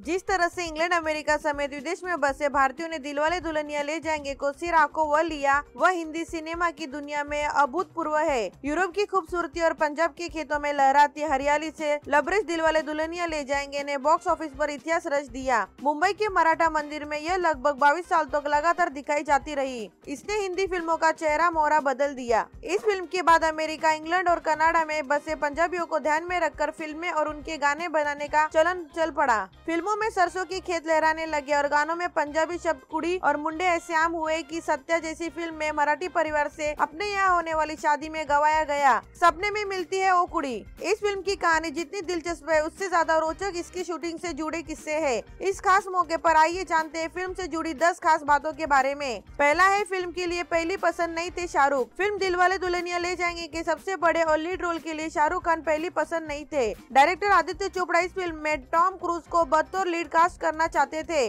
उस वक्त तक फ़िल्म का नाम The Brave Will Take the Bride रखा गया था। लेकिन आदित्य के पिता यश चोपड़ा के दिमाग में कुछ और ही चल रहा था। चूँकि फ़िल्म रोमांटिक थी और भारतीय दर्शकों के लिए बनाई जानी थी, इसलिए वो चाहते थे कि टॉम की जगह शाहरुख को कास्ट किया जाए। काफ़ी समझाने के बाद आदित्य पिता की बात मान गए, लेकिन जब ये रोल शाहरुख को ऑफ़र किया गया तो उन्होंने भी इतनी आसानी इसे स्वीकार नहीं किया। इसके लिए आदित्य चोपड़ा को शाहरुख के साथ चार बार मीटिंग करनी पड़ी, तब जाकर उन्होंने फ़िल्म साइन किया। वैसे यदि शाहरुख नहीं मानते तो आदित्य की अगली पसंद सैफ अली खान थे, लेकिन शायद किस्मत इसी को कहते हैं। इस फ़िल्म के ज़रिए शाहरुख खान को किंग ऑफ़ रोमांस का किताब मिलना था। दूसरा है, फ़िल्म का फाइनल टाइटल किरण खेर ने दिया। फ़िल्म का नाम पहले The Brave at Will Take the Bride रखा गया था, लेकिन अपने जमाने की मशहूर अदाकार किरण खेर को ये नाम सही नहीं लग रहा था। उन्होंने आदित्य चोपड़ा से इसे बदलने की बात कही तो उन्होंने सुझाव मांग दिया। इसके बाद फ़िल्म का टाइटल दिलवाले दुल्हनिया ले जाएँगे, किरण खेर ने सजेस्ट किया था।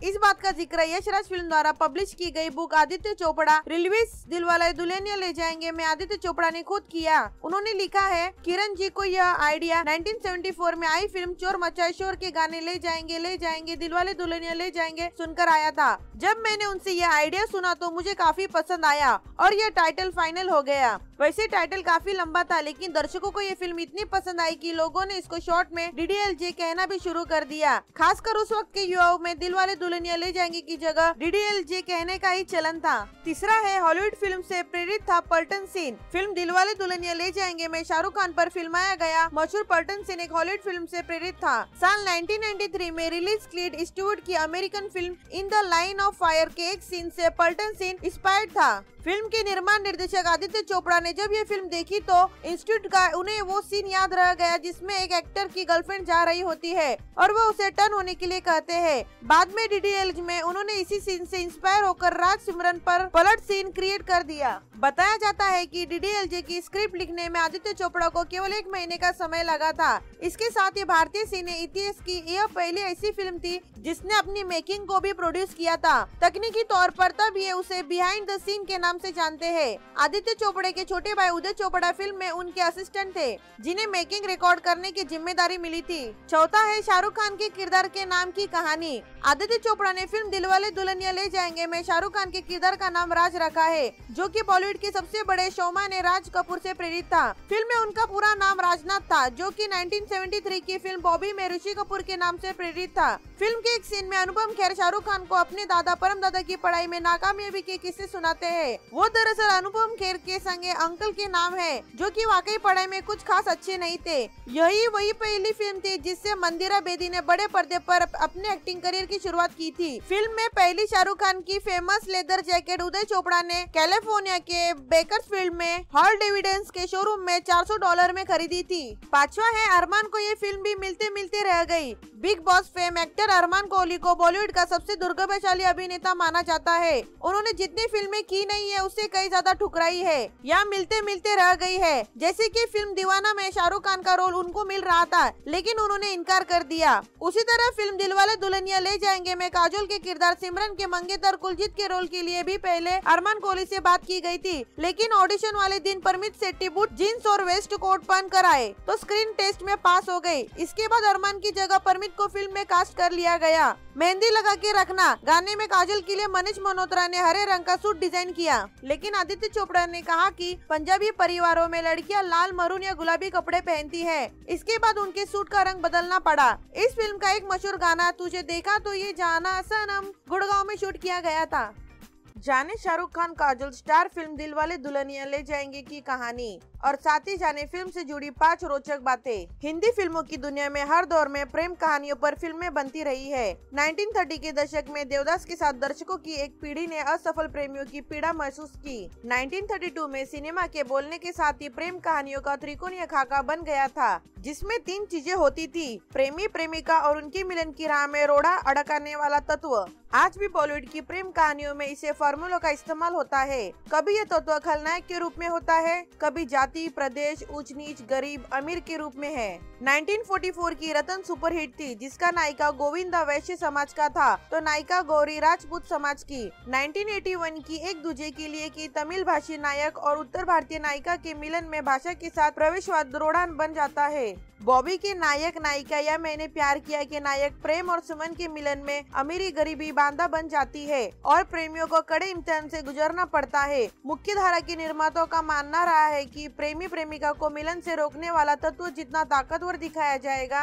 फ़िल्म के सफलता के मौके भी उतने ज़्यादा बनेंगे। मगर 25 साल पहले 20 अक्टूबर 1995 को रिलीज़ हुई दिलवाले दुल्हनिया ले जाएँगे ने इस फॉर्मूले को हाशिए पर पटक दिया। यह ऐसी प्रेम कहानी थी जिसमें नायक नायिका के मिलन को ऊंच नीच अमीर गरीबी, प्रदेशवाद, जाति या धर्म रोकते नज़र नहीं आते हैं। उसमें नायिका सिमरन का पिता बलदेव सिंह परम्परावादी है तो नायक राज का पिता धर्मवीर मल्होत्रा। खुले विचारों का नायक नायिका को मिलने से रोकने वाला तत्व परम्परावादी पिता दिखता तो है, मगर होता नहीं, क्योंकि वह तो अंत में कहता है कि जा सिमरन, जी ले अपनी ज़िंदगी। दिलवाले दुल्हनिया ले जाएँगे, में नायक नायिका को मिलने से रोकने वाला तत्व हालात है, स्थितियाँ है। प्लेटफॉर्म पर दौड़ती नायिका गति पकड़ रही ट्रेन के दरवाजे पर खड़ा नायक और सिनेमा हॉल में दम साथे बैठे दर्शक इस तरह से फ़िल्म में हालात अपने चरम पर पहुँचते हैं। हालाँकि इस क्लाइमेक्स से निर्देशक आदित्य चोपड़ा के पिता यश चोपड़ा नाखुश थे। जिस तरह से इंग्लैंड, अमेरिका समेत विदेश में बसे भारतीयों ने दिलवाले दुल्हनिया ले जाएँगे। को सिर आँखों वह लिया। वह हिंदी सिनेमा की दुनिया में अभूतपूर्व है। यूरोप की खूबसूरती और पंजाब के खेतों में लहराती हरियाली से लबरेज दिलवाले दुल्हनिया ले जाएँगे। ने बॉक्स ऑफ़िस पर इतिहास रच दिया। मुंबई के मराठा मंदिर में यह लगभग बाईस साल तक लगातार दिखाई जाती रही। इसने हिंदी फ़िल्मों का चेहरा मोहरा बदल दिया। इस फ़िल्म के बाद अमेरिका, इंग्लैंड और कनाडा में बसे पंजाबियों को ध्यान में रखकर फ़िल्में और उनके गाने बनाने का चलन चल पड़ा। फ़िल्मों में सरसों की खेत लहराने लगे और गानों में पंजाबी शब्द कुड़ी और मुंडे ऐसे आम हुए कि सत्या जैसी फ़िल्म में मराठी परिवार से अपने यहाँ होने वाली शादी में गवाया गया।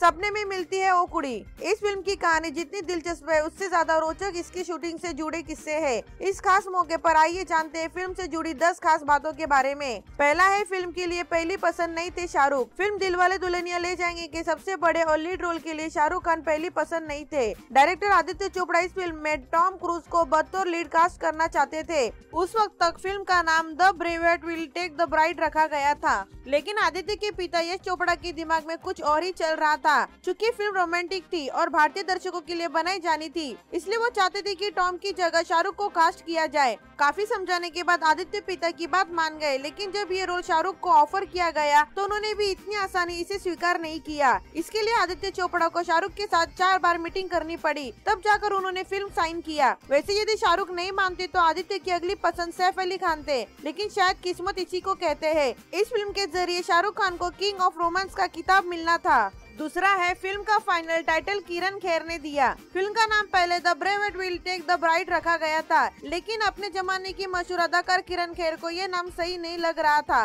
उन्होंने आदित्य चोपड़ा से इसे बदलने की बात कही तो उन्होंने सुझाव मांग दिया। इसके बाद फ़िल्म का टाइटल दिलवाले दुल्हनिया ले जाएँगे, किरण खेर ने सजेस्ट किया था।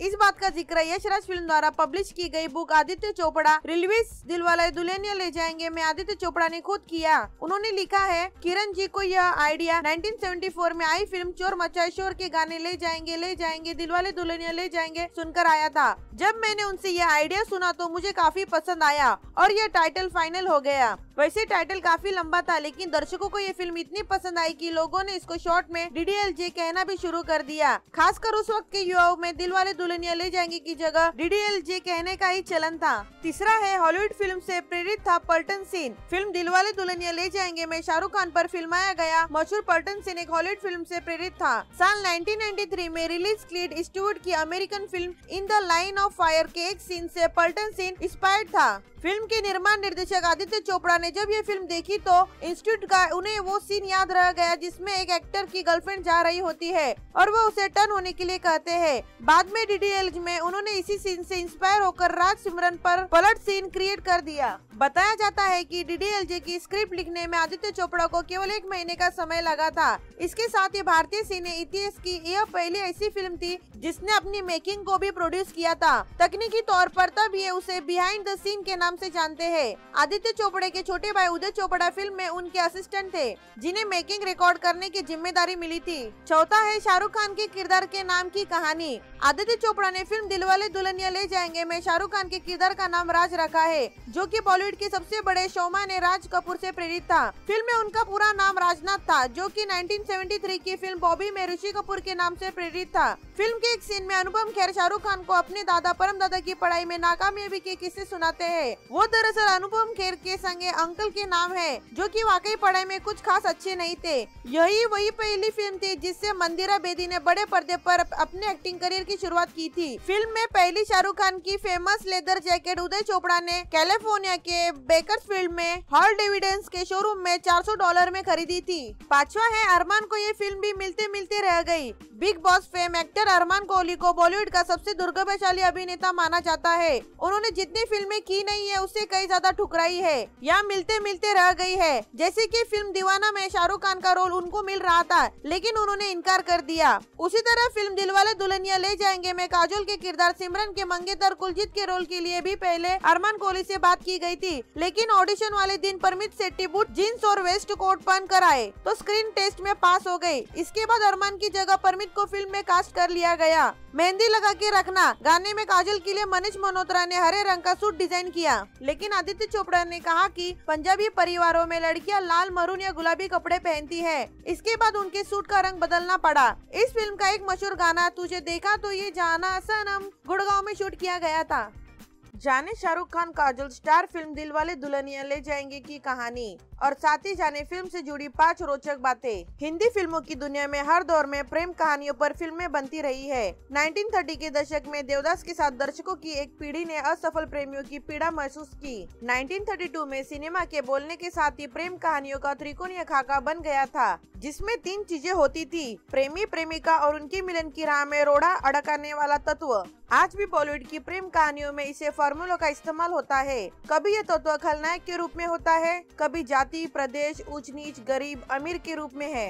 1944 की रतन सुपरहिट थी, जिसका नायिका गोविंदा वैश्य समाज का था। तो नायिका गौरी राजपूत समाज की 1981 की एक दूजे के लिए की तमिल भाषी नायक और उत्तर भारतीय नायिका के मिलन में भाषा के साथ प्रवेशवाद रोड़ान बन जाता है। बॉबी के नायक नायिका या मैंने प्यार किया के नायक प्रेम और सुमन के मिलन में अमीरी गरीबी बांधा बन जाती है और प्रेमियों को कड़े इम्तिहान से गुजरना पड़ता है। मुख्य धारा के निर्माताओं का मानना रहा है कि प्रेमी प्रेमिका को मिलन से रोकने वाला तत्व जितना ताकतवर दिखाया जाएगा, फ़िल्म के सफलता के मौके भी उतने ज़्यादा बनेंगे। मगर 25 साल पहले 20 अक्टूबर 1995 को रिलीज़ हुई दिलवाले दुल्हनिया ले जाएँगे ने इस फॉर्मूले को हाशिए पर पटक दिया। यह ऐसी प्रेम कहानी थी जिसमें नायक नायिका के मिलन को ऊंच नीच अमीर गरीबी, प्रदेशवाद, जाति या धर्म रोकते नज़र नहीं आते हैं। उसमें नायिका सिमरन का पिता बलदेव सिंह परम्परावादी है तो नायक राज का पिता धर्मवीर मल्होत्रा। खुले विचारों का। नायक नायिका को मिलने से रोकने वाला तत्व परंपरावादी पिता दिखता तो है, मगर होता नहीं, क्योंकि वह तो अंत में कहता है कि जा सिमरन, जी ले अपनी ज़िंदगी। दिलवाले दुल्हनिया ले जाएँगे में नायक नायिका को मिलने से रोकने वाला तत्व हालात है, स्थितियाँ है। प्लेटफॉर्म पर दौड़ती नायिका गति पकड़ रही ट्रेन के दरवाजे पर खड़ा नायक और सिनेमा हॉल में दम साथे बैठे दर्शक इस तरह से फ़िल्म में हालात अपने चरम पर पहुँचते हैं। हालाँकि इस क्लाइमेक्स से निर्देशक आदित्य चोपड़ा के पिता यश चोपड़ा नाखुश थे।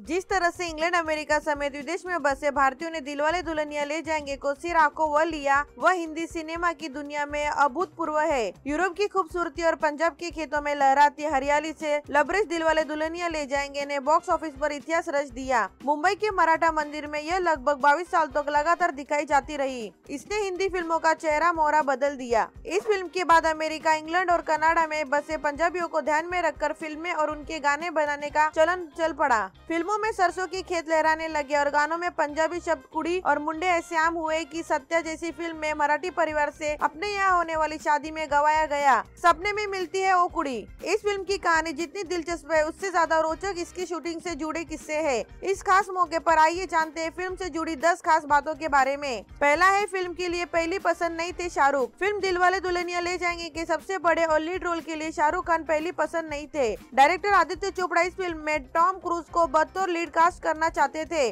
उस वक्त तक फ़िल्म का नाम the brave will take the bride रखा गया था। लेकिन आदित्य के पिता यश चोपड़ा के दिमाग में कुछ और ही चल रहा था। चूँकि फ़िल्म रोमांटिक थी और भारतीय दर्शकों के लिए बनाई जानी थी, इसलिए वो चाहते थे कि टॉम की जगह शाहरुख को कास्ट किया जाए। काफ़ी समझाने के बाद आदित्य पिता की बात मान गए, लेकिन जब ये रोल शाहरुख को ऑफ़र किया गया तो उन्होंने भी इतनी आसानी इसे स्वीकार नहीं किया। इसके लिए आदित्य चोपड़ा को शाहरुख के साथ चार बार मीटिंग करनी पड़ी। तब जाकर उन्होंने फ़िल्म साइन किया। वैसे यदि शाहरुख नहीं मानते तो आदित्य की अगली पसंद सैफ अली खान थे, लेकिन शायद किस्मत इसी को कहते हैं। इस फ़िल्म के ज़रिए शाहरुख खान को किंग ऑफ़ रोमांस का किताब मिलना था। दूसरा है, फ़िल्म का फाइनल टाइटल किरण खेर ने दिया। फ़िल्म का नाम पहले the brave will take the bride रखा गया था, लेकिन अपने जमाने की मशहूर अदाकार किरण खेर को ये नाम सही नहीं लग रहा था। उन्होंने आदित्य चोपड़ा से इसे बदलने की बात कही तो उन्होंने सुझाव मांग दिया। इसके बाद फ़िल्म का टाइटल दिलवाले दुल्हनिया ले जाएँगे, किरण खेर ने सजेस्ट किया था।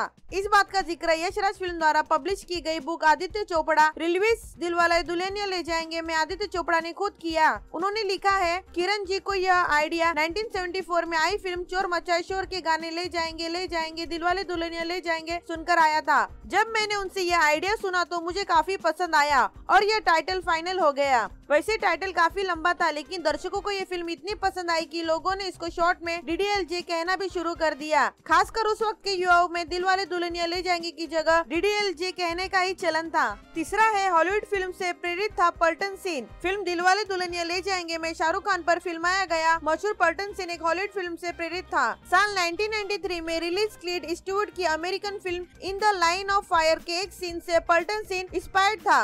फ़िल्म के निर्माण निर्देशक आदित्य चोपड़ा ने जब ये फ़िल्म देखी तो इंस्टीट्यूट का उन्हें वो सीन याद रह गया जिसमें एक एक्टर की गर्लफ्रेंड जा रही होती है और वो उसे टर्न होने के लिए कहते हैं। बाद में डीडीएल में उन्होंने इसी सीन से इंस्पायर होकर राज सिमरन पर पलट सीन क्रिएट कर दिया। बताया जाता है कि डीडीएलजे की स्क्रिप्ट लिखने में आदित्य चोपड़ा को केवल एक महीने का समय लगा था। इसके साथ ही भारतीय सिने इतिहास की यह पहली ऐसी फ़िल्म थी जिसने अपनी मेकिंग को भी प्रोड्यूस किया था। तकनीकी तौर पर तब ये उसे बिहाइंड द सीन के नाम से जानते हैं। आदित्य चोपड़े के छोटे भाई उदय चोपड़ा फ़िल्म में उनके असिस्टेंट थे, जिन्हें मेकिंग रिकॉर्ड करने की ज़िम्मेदारी मिली थी। चौथा है शाहरुख खान के किरदार के नाम की कहानी। आदित्य चोपड़ा ने फ़िल्म दिलवाले दुल्हनिया ले जाएँगे में शाहरुख खान के किरदार का नाम राज रखा है, जो कि बॉलीवुड के सबसे बड़े शोमा ने राज कपूर से प्रेरित था। फ़िल्म में उनका पूरा नाम राजनाथ था, जो कि 1973 की फ़िल्म बॉबी में ऋषि कपूर के नाम से प्रेरित था।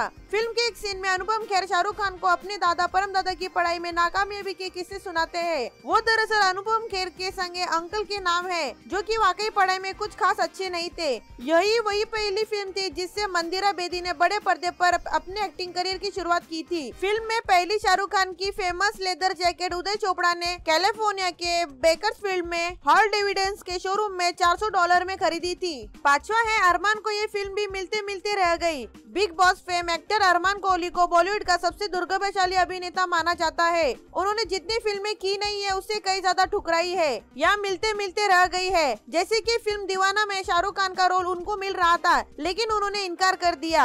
उसी तरह फ़िल्म दिलवाले दुल्हनिया ले जाएँगे में काजोल के किरदार सिमरन के मंगेतर कुलजीत के रोल के लिए भी पहले अरमान कोहली से बात की गई थी, लेकिन ऑडिशन वाले दिन परमित सेट्टी बूट जीन्स और वेस्ट कोट पहन कर आए। तो स्क्रीन टेस्ट में पास हो गए इसके बाद अरमान की जगह परमित को फ़िल्म में कास्ट कर लिया गया। मेहंदी लगा के रखना। गाने में काजल के लिए मनीष मल्होत्रा ने हरे रंग का सूट डिज़ाइन किया। लेकिन आदित्य चोपड़ा ने कहा कि पंजाबी परिवारों में लड़कियाँ लाल मरून या गुलाबी कपड़े पहनती है। इसके बाद उनके सूट का रंग बदलना पड़ा। इस फ़िल्म का एक मशहूर गाना तुझे देखा तो ये जाना सनम गुड़गांव में शूट किया गया था। रेडी रोलिंग रोल है आसिम रोलिंग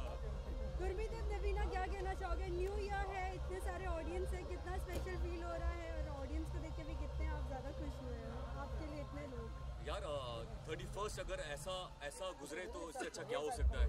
इतने सारे फैंस के सामने परफॉर्म करना काम करना मुझे ऐसा लगता है कि थर्टी फ़र्स्ट बहुत लोग पार्टी करते हैं लेकिन हम लोग काम करके भी पार्टी कर रहे हैं और इतने सारे फैंस के साथ इतना सारा प्यार मिल रहा है। ऑसम रवीना आप क्या कहना चाहोगे? मुझे बहुत अच्छा लग रहा है मुझे ये सोच के अच्छा लग रहा है that people have come out after two years to party और होपफुली हम एंटरटेन कर पा रहे हैं। आज का कुछ लुक के बारे में आप बताना चाहोगे? दोनों बहुत अच्छे लग रहे हो। यार ब्लिंग है यार एकदम चमक धमक है थर्टी फ़र्स्ट है। तो मैं और देवीना ने काफ़ी तो टाइम निकाला क्योंकि नॉर्मली थर्टी फ़र्स्ट को हम थोड़ा सीरियसली लेते हैं। और हम कपड़े खुद हमने सेलेक्ट किए। और हमें चाहिए था कि तो स्टेज पे जब दूर से भी खड़े हैं तो लोग हमें देख पाए। तो मैंने देखा देवीना ने बहुत ही अच्छा कुछ पहना हुआ है। तो मुझे लगा इससे थोड़ा ज़्यादा चमक धमक होना अच्छा चाहिए। हाँ पहनना है। तो ये पहन के बस कंफर्टेबल भी हो डांस भी कर पाए परफॉर्म भी कर पाए।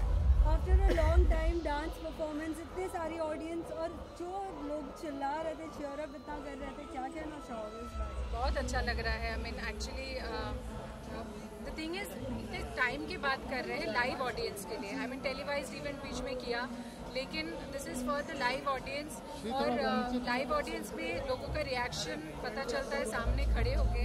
इट्स नॉट कि आपने कर दिया कैमरे के सामने, जब टेलीकास्ट होगा, लोगों ने घर पे देखा फ़ोटो डाला।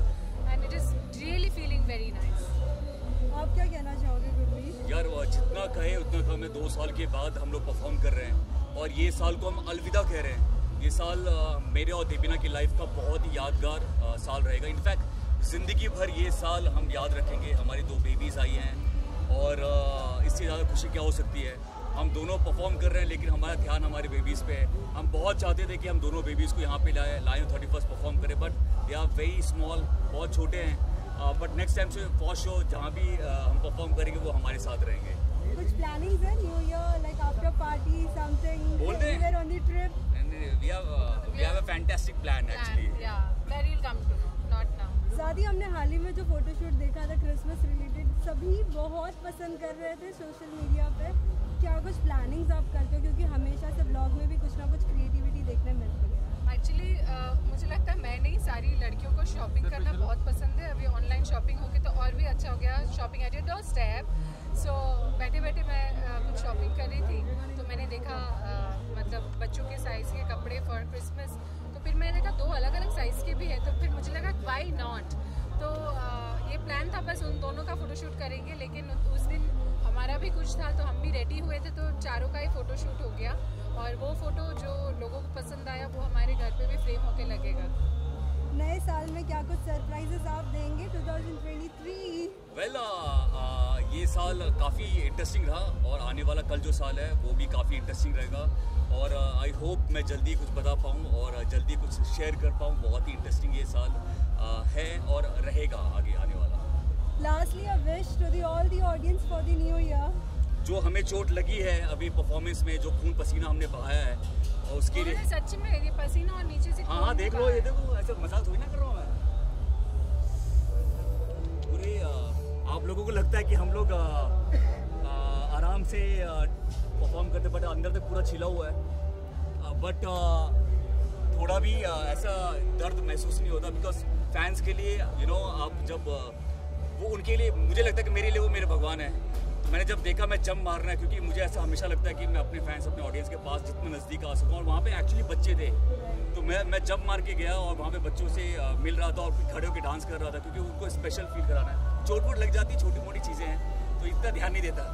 आप दोनों के अंदाज में नए साल की शुभकामनाएँ? सभी दर्शकों को देबीना। और गुरमीत की तरफ़ से happy new year happy new year thank you thank you thank you so much हाँ यहाँ पर सामने सामने।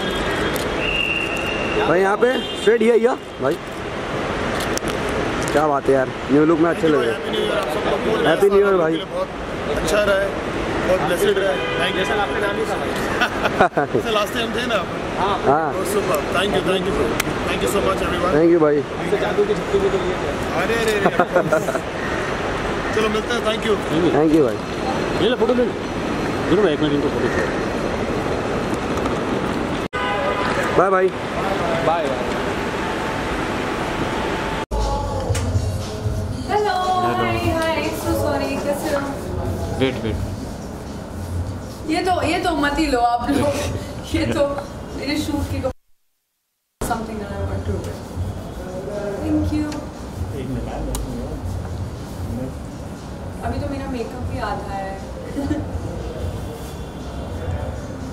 बाइट करते हैं जैसे कि नया साल आ रहा है क्या कुछ प्लानिंग की हो नए साल के नए साल के लिए ही तो आज हम लोग सब लोग हैं यहाँ पर।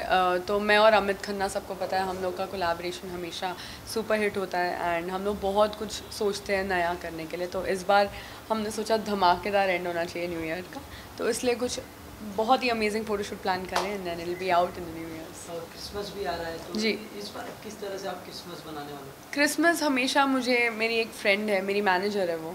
वो मुझे हमेशा हर साल क्रिसमस ट्री ला के देती है। So it's like a ritual तो आज मेरे शूट के बाद मैं जाऊँगी बांद्रा क्रिसमस शॉपिंग करूँगी एंड देन घर में अच्छे से डेकोर करूँगी। और इस बार तो मतलब बहुत ही सारा सारे रीजंस है सेलिब्रेट करने के लिए तो फेस्टिवल्स तो अच्छे से सेलिब्रेट करेंगे। कुछ मेमोरी शेयर करना चाहोगे बचपन की हाँ हाँ बिल्कुल। Christmas I think Christmas was that time जहाँ हमें इतना भी वो कल्चर के बारे में पता नहीं था, पर हमेशा हम लोग बहुत प्रभावित थे कि हाँ you know Santa Claus you know trees decorate करो ये वो।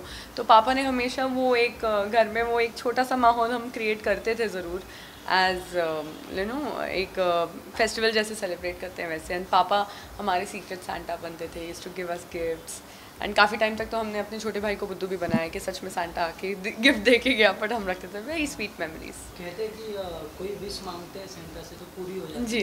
तो आप इस बार क्या विश मांगने वाले हाँ? मैं सांता से यही प्रार्थना करती हूँ कि मेरे आगे के जितने साल हैं एंड सब कुछ बहुत ही पीसफुली जाए सब कुछ बहुत अच्छे से जाए। मेरे लिए यही है बस शांति चाहिए मुझे ज़िंदगी में। बिग बॉस के ना फॉलो कर रहे आप? नहीं फॉलो कर रही हूँ मैं। और अब तो वो अब्दुल निकल भी गया ना। तो अब तो क्या ही बचा। कोई तो कोई फ्रेंड नहीं है मेरा बिग बॉस में। कोई भी नहीं है जिसको मैं जानती हूँ। हाँ ऑफकोर्स टीना दत्ता अमित के साथ बहुत शूट्स करती हैं। That's how I know of Tina Datta but I don't know anybody और कुछ आइडिया है? टीना और शालीन का जो फेक लव चल रहा है। I have no idea about it हाँ शिव ठाकरे आई नो मुझे ये नहीं पता बिग बॉस में अच्छा कर रहे हैं बुरा कर रहे हैं but Shiv Thackeray as a person I know him Roadies में और बिग बॉस में भी मैं मिल चुकी हूँ उनको। तो या आपको क्या लगता है कौन विनर कौन होगा मैं मेरे को नहीं लगता इस साल का विनर मतलब उन लोग बाहर आएँगे तो मुझे उनके लिए बहुत बुरा लग रहा है क्योंकि show I don't think so is doing that well पिछले साल तक इट वाज अमेजिंग बट इस साल मुझे नहीं लगता बिग बॉस में दम तो नया साल आ रहा है क्या कुछ सरप्राइज़ देने वाले हो? क्या अपकमिंग प्रोजेक्ट्स अपकमिंग प्रोजेक्ट्स बहुत अमेजिंग प्रोजेक्ट्स हैं जो जनवरी से स्टार्ट होंगे which I can not tell you about but दो गाने ऑलरेडी मैं शूट कर चुकी हूँ वो सबको पता है। ओ टी का जमाना आ चुका है वेब सीरीज़ वगैरह आ रहा है। जी इस बार तो अभय को आई ने टॉप टेन रेटिंग दी है। Top ten one of the most watched most favourite top ten web series तो I was very happy with that I think that's a good achievement तो अभय के बाद जो प्रोजेक्ट होगा मैं चाहती हूँ कि वो उतना ही वेटेज हो कैरेक्टर को उतना ही उसमें स्क्रिप्ट में ताकत हो क्योंकि अगर कहानी अच्छी है तो वो आगे तक जाती ही जाती है।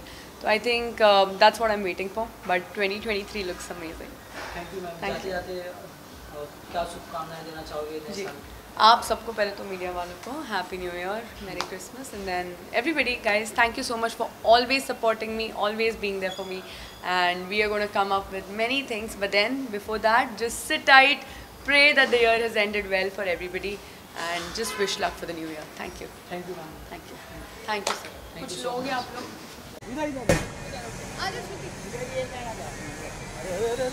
बस बस बस कोई धक्का नहीं मारना सब जगह तो हाँ बोलो। हाँ यार। नाम थोड़ा पीछे जाओ आप पे सनलाइट आ रहा है। बहुत ज़्यादा हो रहा है बहुत ज़्यादा पैच हो रहा है। बस ये चलेगा। बस हाँ ये परफेक्ट है ठीक है। भाई गाड़ियों तो कुछ ज़्यादा है पाजी? जे डब्ल्यू भाई क्या मतलब? बोलना। बोलना भाई क्या बोल रहा है? दिव्या जी। सोलो। सोलो करते दिव्या जी। ठीक है ना? एक nice look Divya ji centre centre सामने Divya ji nice look Divya ji centre centre Divya ji तरफ़ पाजी की तरफ़। दिव्या जी इधर देख इधर। सेंटर सेंटर हाँ अजीम। का नाम क्या दिव्या जी यहाँ पे राइट रेशम का रुमाल। सेंटर मैम हाँ? रेशम का रुमाल दे रुमाल दे दो ना रेशम का। मैं लाया नहीं office wait wait wait wait wait Divya ji wait हाँ ये ये. यही के रेशम का रुमाल। रुमाल नहीं लेकिन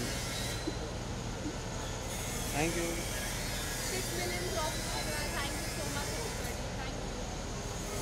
happy birthday advance क्यों आगे जा रहा भाई केक कहाँ? वहीं पे रहो वहीं पे रहो। तब तक बाइट कर लेते ना। हाँ, सिक्स मिलियन क्रॉस हो चुके किस तरह से प्रमोशन चालू है? लास्ट दो दिन में कुछ पता नहीं भाई प्रमोशन तो मेरे को कभी भी गाने का प्रमोशन प्रमोशन जैसे नहीं लगता। है बस मज़े कर रही हूँ गाना बाहर आया। बरोबर। फ्रेंड्स को बुला के इन्फ्लुएंसर्स को बुला के मस्ती मज़ाक चलता है बहुत मज़े से शुरू है। इन लोगों की तरफ़ से क्या रिस्पॉन्स आया अभी तक, अगर अच्छा है सबको डांस काफ़ी पसंद आया, सबको लुक्स काफ़ी पसंद आए I think they all are waiting for the reels and बस अब आप कितने रील्स बन अभी तक नंबर ऑफ़ काउंट किया कितने रील्स बने अब नहीं मैंने तो काउंट नहीं किया पर मैंने आज अकेले ने आई गेस 20 रील्स तो बनाई दी हैं काफ़ी। पिछले दो घंटे। क्या बात है? और आप लोग के साथ भी बनाना है मुझे कब बनाऊँ सिक्स मिलियन श्रेयस के हाँ, साथ। श्रेयस- श्रेयस बन गया। अभी कर लेते इसके अलावा मैं जानना चाहूँगा फ़िल्म अपने जो इंडस्ट्री जगत से क्या किसने कॉम्प्लीमेंट किया क्या कॉम्प्लीमेंट किया अगर आपके कुछ दोस्त थे? हाँ हाँ बिल्कुल। बिल्कुल काफ़ी लोगों ने कॉम्प्लीमेंट किया है स्पेशली मेरे को स्टार्स हमेशा ध्यान रखते हैं कि नेक्स्ट प्रोजेक्ट क्या आ रहा है नेक्स्ट प्रोजेक्ट क्या आ रहा है। कल uh, रणविजय सर का कॉल आया था देन तनुज गिरवानी का कॉल आया है then all the girls oh my God the girl gang whatever I have the singer was here पहले ही हमारे पूछा। साथ सिंगर थी। मैंने सिंगर के साथ भी काफ़ी कंटेंट बनाया है। That's the singer Thank you so much. What do you want to say about the song? मैं क्या कहूँ I'm so excited promoting the song and look at her she is the gorgeous diva and she's she's in this song और I'm sure her fans are you know always supporting and they love her I'm sure and मतलब हमारा ये गाना second इतना collab हमारा है। ये second We want you to sing few lines हाँ, and please. and you to You dance. dance. नहीं नहीं you sing I dance Yes. Perfect. Few चलो, few let's go. lines. Yeah. अरे लगा बूम लगा लगा पहले बैठ कर तब One, two, three. रेशम का रुमाल गले में डाल के तू आ जाना आ वेट करूँ मैं। मैं चेरी वाली लिपस्टिक लगा के अरे कब से खड़ी हूँ दरवाजे पे? ओ, रेशम का। सैरी बाबू भी इन्होंने ही गाया था। हाँ मैंने याद है. हाँ इसके अलावा बिग बॉस देख पा रहे हो। यार कल कल ही तो तुम लोग को इतना मतलब मैंने बोला। पता है कितनी बैशिंग हो रही है ट्विटर पे? आप लोगों की वैसे मतलब क्योंकि मैं सब कुछ ऐसे बोल देती हूँ ऐसे फ्लो फ्लो में। पर फिर कोई बात नहीं मैं आप लोग के लिए केक लाई हूँ मेरा बर्थडे है कल। अरे यार। थोड़ा थोड़ा। मैं सच में मेरे को ये सीज़न बहुत बोरिंग लग रहा है। मेरे को नहीं लगता आप लोग भी देख रहे हो। क्यों ऐसा बोरिंग लग रहा है? मेरे को पता है आप लोग भी नहीं देख रहे हाँ, है? आप- नहीं सब हंस रहे हैं सब लोग हंस रहे हैं कैमरा के पीछे। सिर्फ़ मेरी शक्ल दिख रही आप नहीं इसके लिए बोरिंग लग रहा हाँ? है? आप नहीं बिग बॉस में? देखो मैंने अपने आप को ऐसे देखा तो नहीं है। आप लोग को अगर ऐसा लगता है मेरी वजह से बोरिंग चल रहा है लाइक मैं नहीं हूँ वहाँ पे इसलिए बोरिंग है तो फिर आपने कहा। केक कट कर लेते। चलो। हाँ इसे इधर ही करो अच्छा चल एक मिनट एक मिनट। बाहर निकल। Thank you so much guys happy birthday left to right Happy birthday, dear thank you thank you आजा God bless you. Happy birthday तो विश कर thank you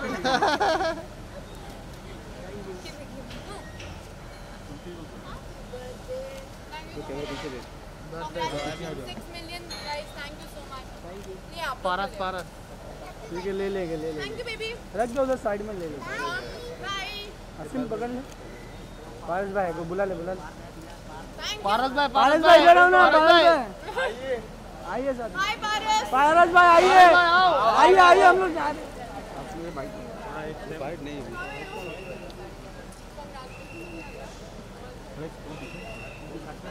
साथ में कर साथ में साथ में पारस भाई साथ में कर ले तो पीछे हो जाओ। पारस भाई आज बर्थडे है दिव्या जी का कल। कल। Birthday thank you party? Thank you thank you guys रेशम का रुमाल इधर मैं नहीं नहीं नहीं नहीं। भाई मत चल। शायद आपको फ़ोटो चाहिए। नहीं भाई। हाँ, सही है, एक भी हो। थैंक यू प्लीज़ केक खा लो। है ही नहीं। हो गया ना हमें कितना? दिव्या जी शायद आपको फ़ोटो चाहिए। हाँ? इसको फ़ोटो चाहिए जाओ आपको। जा रहा मैं मारता हूँ।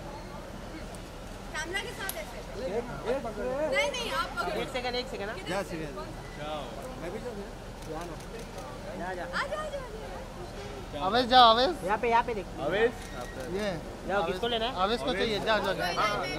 जाओ। इसका बाकी इसका बाकी इसका बाकी इसका बाकी। जल्दी से जल्दी से यहाँ पे देख। Thank you Avesh Avesh. तो। यहाँ पे देखो यहाँ पे देखो। हैप्पी बर्थडे टू यू एक उसको फ़ोटो दो। एक सेकंड है भाई एक सेकंड यहाँ पे दिव्या जी, दिव्या जी। अवेश इधर देखो, इधर, इधर, इधर। अवेश अवेश इधर देख। अवेश कैमरे में देख।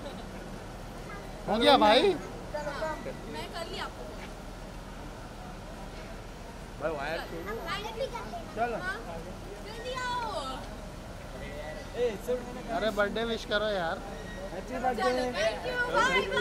जाने शाहरुख खान काजोल, स्टार फ़िल्म दिलवाले दुल्हनिया ले जाएँगे की कहानी। और साथ ही जाने फ़िल्म से जुड़ी पाँच रोचक बातें। हिंदी फ़िल्मों की दुनिया में हर दौर में प्रेम कहानियों पर फ़िल्में बनती रही है। 1930 के दशक में देवदास के साथ दर्शकों की एक पीढ़ी ने असफल प्रेमियों की पीड़ा महसूस की। 1932 में सिनेमा के बोलने के साथ ही प्रेम कहानियों का त्रिकोणीय खाका बन गया था, जिसमें तीन चीज़ें होती थी। प्रेमी, प्रेमिका और उनके मिलन की राह में रोड़ा अड़काने वाला तत्व। आज भी बॉलीवुड की प्रेम कहानियों में इसे फार्मूलों का इस्तेमाल होता है। कभी ये तत्व खलनायक के रूप में होता है, कभी जाति, प्रदेश, ऊंच नीच, गरीब, अमीर के रूप में है। 1944 की रतन सुपरहिट थी, जिसका नायिका गोविंदा वैश्य समाज का था तो नायिका गौरी राजपूत समाज की। 1981 की एक दूजे के लिए की तमिल भाषी नायक और उत्तर भारतीय नायिका के मिलन में भाषा के साथ प्रवेशवाद रोड़ान बन जाता है। बॉबी के नायक नायिका या मैंने प्यार किया के नायक प्रेम और सुमन के मिलन में अमीरी गरीबी बांधा बन जाती है और प्रेमियों को कड़े इम्तिहान से गुजरना पड़ता है। मुख्य धारा के निर्माताओं का मानना रहा है कि प्रेमी प्रेमिका को मिलन से रोकने वाला तत्व जितना ताकतवर दिखाया जाएगा, फ़िल्म के सफलता के मौके भी उतने ज़्यादा बनेंगे। मगर 25 साल पहले 20 अक्टूबर 1995 को रिलीज़ हुई दिलवाले दुल्हनिया ले जाएँगे ने इस फॉर्मूले को हाशिए पर पटक दिया। यह ऐसी प्रेम कहानी थी जिसमें नायक नायिका के मिलन को ऊंच नीच अमीर गरीबी, प्रदेशवाद, जाति या धर्म रोकते नज़र नहीं आते हैं। उसमें नायिका सिमरन का पिता बलदेव सिंह परंपरावादी है तो नायक राज का पिता धर्मवीर मल्होत्रा। खुले विचारों का। नायक नायिका को मिलने से रोकने वाला तत्व परंपरावादी पिता दिखता तो है, मगर होता नहीं, क्योंकि वह तो अंत में कहता है कि जा सिमरन, जी ले अपनी ज़िंदगी। दिलवाले दुल्हनिया ले जाएँगे, में नायक नायिका को मिलने से रोकने वाला तत्व हालात है, स्थितियाँ है। प्लेटफॉर्म पर दौड़ती नायिका गति पकड़ रही ट्रेन के दरवाजे पर खड़ा नायक और सिनेमा हॉल में दम साथे बैठे दर्शक इस तरह से फ़िल्म में हालात अपने चरम पर पहुँचते हैं। हालाँकि इस क्लाइमेक्स से निर्देशक आदित्य चोपड़ा के पिता यश चोपड़ा नाखुश थे। जिस तरह से इंग्लैंड, अमेरिका समेत विदेश में बसे भारतीयों ने दिलवाले दुल्हनिया ले जाएँगे को सिर आँखों वह लिया। वह हिंदी सिनेमा की दुनिया में अभूतपूर्व है। यूरोप की खूबसूरती और पंजाब के खेतों में लहराती हरियाली से लबरेज दिलवाले दुल्हनिया ले जाएँगे, ने बॉक्स ऑफ़िस पर इतिहास रच दिया। मुंबई के मराठा मंदिर में यह लगभग बाईस साल तक लगातार दिखाई जाती रही। इसने हिंदी फ़िल्मों का चेहरा मोहरा बदल दिया। इस फ़िल्म के बाद अमेरिका, इंग्लैंड और कनाडा में बसे पंजाबियों को ध्यान में रखकर फ़िल्में और उनके गाने बनाने का चलन चल पड़ा। फ़िल्मों में सरसों की खेत लहराने लगे और गानों में पंजाबी शब्द कुड़ी और मुंडे ऐसे आम हुए कि सत्या जैसी फ़िल्म में मराठी परिवार से अपने यहाँ होने वाली शादी में गवाया गया। सपने में मिलती है वो कुड़ी। इस फ़िल्म की कहानी जितनी दिलचस्प है, उससे ज़्यादा रोचक इसकी शूटिंग से जुड़े किस्से है। इस खास मौके पर आइए जानते हैं फ़िल्म से जुड़ी दस खास बातों के बारे में। पहला है फ़िल्म के लिए पहली पसंद नहीं थे शाहरुख। फ़िल्म दिलवाले दुल्हनिया ले जाएँगे के सबसे बड़े और लीड रोल के लिए शाहरुख खान पहली पसंद नहीं थे। डायरेक्टर आदित्य चोपड़ा इस फ़िल्म में टॉम क्रूज को बतौर लीड कास्ट करना चाहते थे। उस वक्त तक फ़िल्म का नाम the brave will take the bride रखा गया था। लेकिन आदित्य के पिता यश चोपड़ा के दिमाग में कुछ और ही चल रहा था। चूँकि फ़िल्म रोमांटिक थी और भारतीय दर्शकों के लिए बनाई जानी थी, इसलिए वो चाहते थे की टॉम की जगह शाहरुख को कास्ट किया जाए। काफ़ी समझाने के बाद आदित्य पिता की बात मान गए, लेकिन जब ये रोल शाहरुख को ऑफ़र किया गया तो उन्होंने भी इतनी आसानी इसे स्वीकार नहीं किया। इसके लिए आदित्य चोपड़ा को शाहरुख के साथ चार बार मीटिंग करनी पड़ी। तब जाकर उन्होंने फ़िल्म साइन किया। वैसे यदि शाहरुख नहीं मानते तो आदित्य की अगली पसंद सैफ अली खान थे, लेकिन शायद किस्मत इसी को कहते हैं। इस फ़िल्म के ज़रिए शाहरुख खान को किंग ऑफ़ रोमांस का किताब मिलना था। दूसरा है, फ़िल्म का फाइनल टाइटल किरण खेर ने दिया। फ़िल्म का नाम पहले the brave at will take the bride रखा गया था, लेकिन अपने जमाने की मशहूर अदाकार किरण खेर को ये नाम सही नहीं लग रहा था। उन्होंने आदित्य चोपड़ा से इसे बदलने की बात कही तो उन्होंने सुझाव मांग दिया। इसके बाद फ़िल्म का टाइटल दिलवाले दुल्हनिया ले जाएँगे, किरण खेर ने सजेस्ट किया था। इस बात का ज़िक्र यशराज फ़िल्म द्वारा पब्लिश की गई बुक आदित्य चोपड़ा, रिलीज़ दिलवाले दुल्हनिया ले जाएँगे, में आदित्य चोपड़ा ने खुद किया। उन्होंने लिखा है, किरण जी को यह आइडिया 1974 में आई फ़िल्म चोर मचाए शोर के गाने ले जाएँगे ले जाएँगे दिलवाले दुल्हनिया ले जाएँगे सुनकर आया था। जब मैंने उनसे यह आइडिया सुना तो मुझे काफ़ी पसंद आया और यह टाइटल फाइनल हो गया। वैसे टाइटल काफ़ी लंबा था, लेकिन दर्शकों को ये फ़िल्म इतनी पसंद आई कि लोगों ने इसको शॉर्ट में डीडीएलजे कहना भी शुरू कर दिया। खासकर उस वक्त के युवाओं में दिलवाले दुल्हनिया ले जाएँगे की जगह डीडीएलजे कहने का ही चलन था। तीसरा है हॉलीवुड फ़िल्म से प्रेरित था पल्टन सीन। फ़िल्म दिलवाले दुल्हनिया ले जाएँगे में शाहरुख खान पर फिल्माया गया मशहूर पलटन सीन एक हॉलीवुड फ़िल्म से प्रेरित था। साल 1993 में रिलीज़ क्लीड स्टूवर्ट की American film in the line of fire के एक सीन से पल्टन सीन इंस्पायर्ड था। फ़िल्म के निर्माण निर्देशक आदित्य चोपड़ा ने जब ये फ़िल्म देखी तो इंस्टीट्यूट का उन्हें वो सीन याद रह गया जिसमें एक एक्टर की गर्लफ्रेंड जा रही होती है और वो उसे टर्न होने के लिए कहते हैं। बाद में डीडीएल में उन्होंने इसी सीन से इंस्पायर होकर राज सिमरन पर पलट सीन क्रिएट कर दिया। बताया जाता है कि डीडीएलजे की स्क्रिप्ट लिखने में आदित्य चोपड़ा को केवल एक महीने का समय लगा था। इसके साथ ये भारतीय सिने इतिहास की यह पहली ऐसी फ़िल्म थी जिसने अपनी मेकिंग को भी प्रोड्यूस किया था। तकनीकी तौर पर तब ये उसे बिहाइंड द सीन के नाम से जानते हैं। आदित्य चोपड़े के छोटे भाई उदय चोपड़ा फ़िल्म में उनके असिस्टेंट थे, जिन्हें मेकिंग रिकॉर्ड करने की ज़िम्मेदारी मिली थी। चौथा है शाहरुख खान के किरदार के नाम की कहानी। आदित्य चोपड़ा ने फ़िल्म दिलवाले दुल्हनिया ले जाएँगे में शाहरुख खान के किरदार का नाम राज रखा है, जो कि बॉलीवुड के सबसे बड़े शोमा ने राज कपूर से प्रेरित था। फ़िल्म में उनका पूरा नाम राजनाथ था, जो कि 1973 की फ़िल्म बॉबी में ऋषि कपूर के नाम से प्रेरित था। फ़िल्म के एक सीन में अनुपम खेर शाहरुख खान को अपने दादा परम दादा की पढ़ाई में नाकामयाबी के किस्से सुनाते हैं। वो दरअसल अनुपम खेर के संगे अंकल के नाम है, जो की वाकई पढ़ाई में कुछ खास अच्छे नहीं थे। यही वही पहली फ़िल्म थी जिससे मंदिरा बेदी ने बड़े पर्दे पर अपने एक्टिंग करियर की शुरुआत की थी। फ़िल्म में पहली शाहरुख खान की famous leather jacket Uday Chopra ने कैलिफ़ोर्निया के बेकर्सफील्ड में हॉल डिविडेंस के शोरूम में 400 डॉलर में खरीदी थी।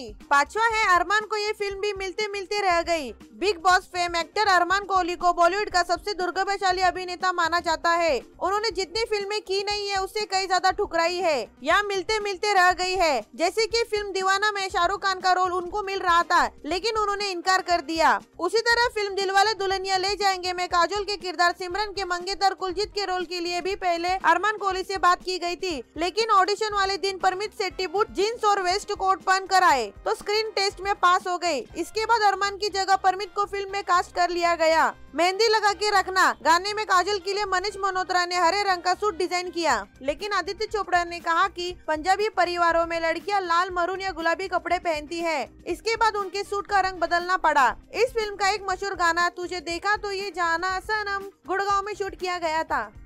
जाने शाहरुख खान काजल, स्टार फ़िल्म दिलवाले दुल्हनिया ले जाएँगे की कहानी। और साथ ही जाने फ़िल्म से जुड़ी पाँच रोचक बातें। हिंदी फ़िल्मों की दुनिया में हर दौर में प्रेम कहानियों पर फ़िल्में बनती रही है। 1930 के दशक में देवदास के साथ दर्शकों की एक पीढ़ी ने असफल प्रेमियों की पीड़ा महसूस की। 1932 में सिनेमा के बोलने के साथ ही प्रेम कहानियों का त्रिकोणीय खाका बन गया था, जिसमें तीन चीज़ें होती थी। प्रेमी प्रेमिका और उनकी मिलन की राह में रोड़ा अड़काने वाला तत्व। आज भी बॉलीवुड की प्रेम कहानियों में इसे फॉर्मूलों का इस्तेमाल होता है। कभी ये तत्व खलनायक के रूप में होता है, कभी जाति, प्रदेश ऊंच नीच गरीब, अमीर के रूप में है। 1944 की रतन सुपरहिट थी, जिसका नायिका गोविंदा वैश्य समाज का था। तो नायिका गौरी राजपूत समाज की। 1981 की एक दूजे के लिए की तमिल भाषी नायक और उत्तर भारतीय नायिका के मिलन में भाषा के साथ प्रवेशवाद रोडान बन जाता है। बॉबी के नायक नायिका या मैंने प्यार किया के नायक प्रेम और सुमन के मिलन में अमीरी गरीबी बांधा बन जाती है और प्रेमियों को कड़े इम्तिहान से गुजरना पड़ता है।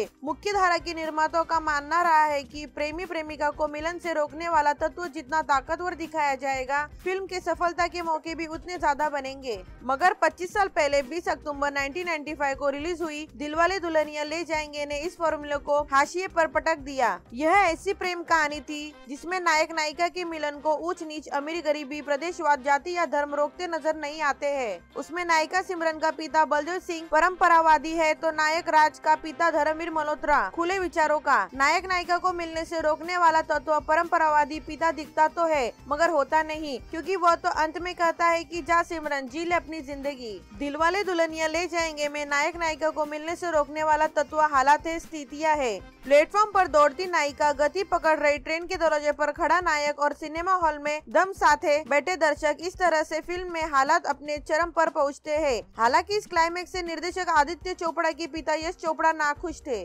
जिस तरह से इंग्लैंड, अमेरिका समेत विदेश में बसे भारतीयों ने दिलवाले दुल्हनिया ले जाएँगे को सिर आँखों वह लिया। वह हिंदी सिनेमा की दुनिया में अभूतपूर्व है। यूरोप की खूबसूरती और पंजाब के खेतों में लहराती हरियाली से लबरेज दिलवाले दुल्हनिया ले जाएँगे, ने बॉक्स ऑफ़िस पर इतिहास रच दिया। मुंबई के मराठा मंदिर में यह लगभग 22 साल तक लगातार दिखाई जाती रही। इसने हिंदी फ़िल्मों का चेहरा मोहरा बदल दिया। इस फ़िल्म के बाद अमेरिका, इंग्लैंड और कनाडा में बसे पंजाबियों को ध्यान में रखकर फ़िल्में और उनके गाने बनाने का चलन चल पड़ा। फ़िल्मों में सरसों की खेत लहराने लगे और गानों में पंजाबी शब्द कुड़ी और मुंडे ऐसे आम हुए की सत्या जैसी फ़िल्म में मराठी परिवार से अपने यहाँ होने वाली शादी में गवाया गया। सपने में मिलती है वो कुड़ी। इस फ़िल्म की कहानी जितनी दिलचस्प है, उससे ज़्यादा रोचक इसकी शूटिंग से जुड़े किस्से है। इस खास मौके पर आइए जानते हैं फ़िल्म से जुड़ी 10 खास बातों के बारे में। पहला है, फ़िल्म के लिए पहली पसंद नहीं थे शाहरुख। फ़िल्म दिलवाले दुल्हनिया ले जाएँगे के सबसे बड़े और लीड रोल के लिए शाहरुख खान पहली पसंद नहीं थे। डायरेक्टर आदित्य चोपड़ा इस फ़िल्म में टॉम क्रूज को बतौर लीड कास्ट करना चाहते थे। उस वक्त तक फ़िल्म का नाम the brave will take the bride रखा गया था।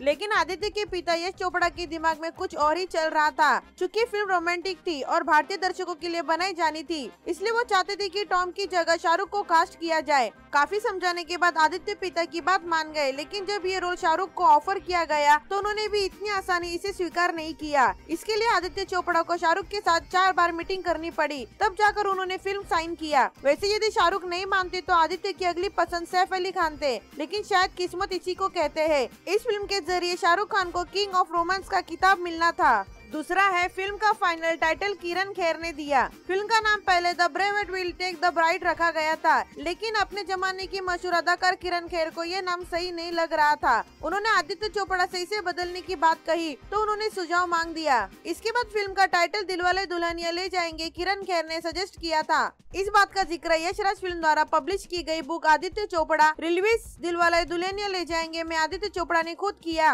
उन्होंने लिखा है, किरण जी को यह आइडिया 1974 में आई फ़िल्म चोर मचाए शोर के गाने ले जाएँगे ले जाएँगे, दिलवाले दुल्हनिया ले जाएँगे सुनकर आया था। जब मैंने उनसे यह आइडिया सुना तो मुझे काफ़ी पसंद आया और यह टाइटल फाइनल हो गया। वैसे टाइटल काफ़ी लंबा था, लेकिन दर्शकों को ये फ़िल्म इतनी पसंद आई कि लोगों ने इसको शॉर्ट में डीडीएलजे कहना भी शुरू कर दिया। खासकर उस वक्त के युवाओं में दिल वाले दुल्हनिया ले जाएँगे की जगह डीडीएलजे कहने का ही चलन था। तीसरा है हॉलीवुड फ़िल्म से प्रेरित था पल्टन सीन फ़िल्म दिल वाले दुल्हनिया ले जाएँगे में शाहरुख खान पर फिल्माया गया। मशहूर पल्टन सीन एक हॉलीवुड फ़िल्म से प्रेरित था। साल 1993 में रिलीज़ क्लीड स्टूवर्ट की American film in the line of fire के एक सीन से पल्टन सीन इंस्पायर्ड था।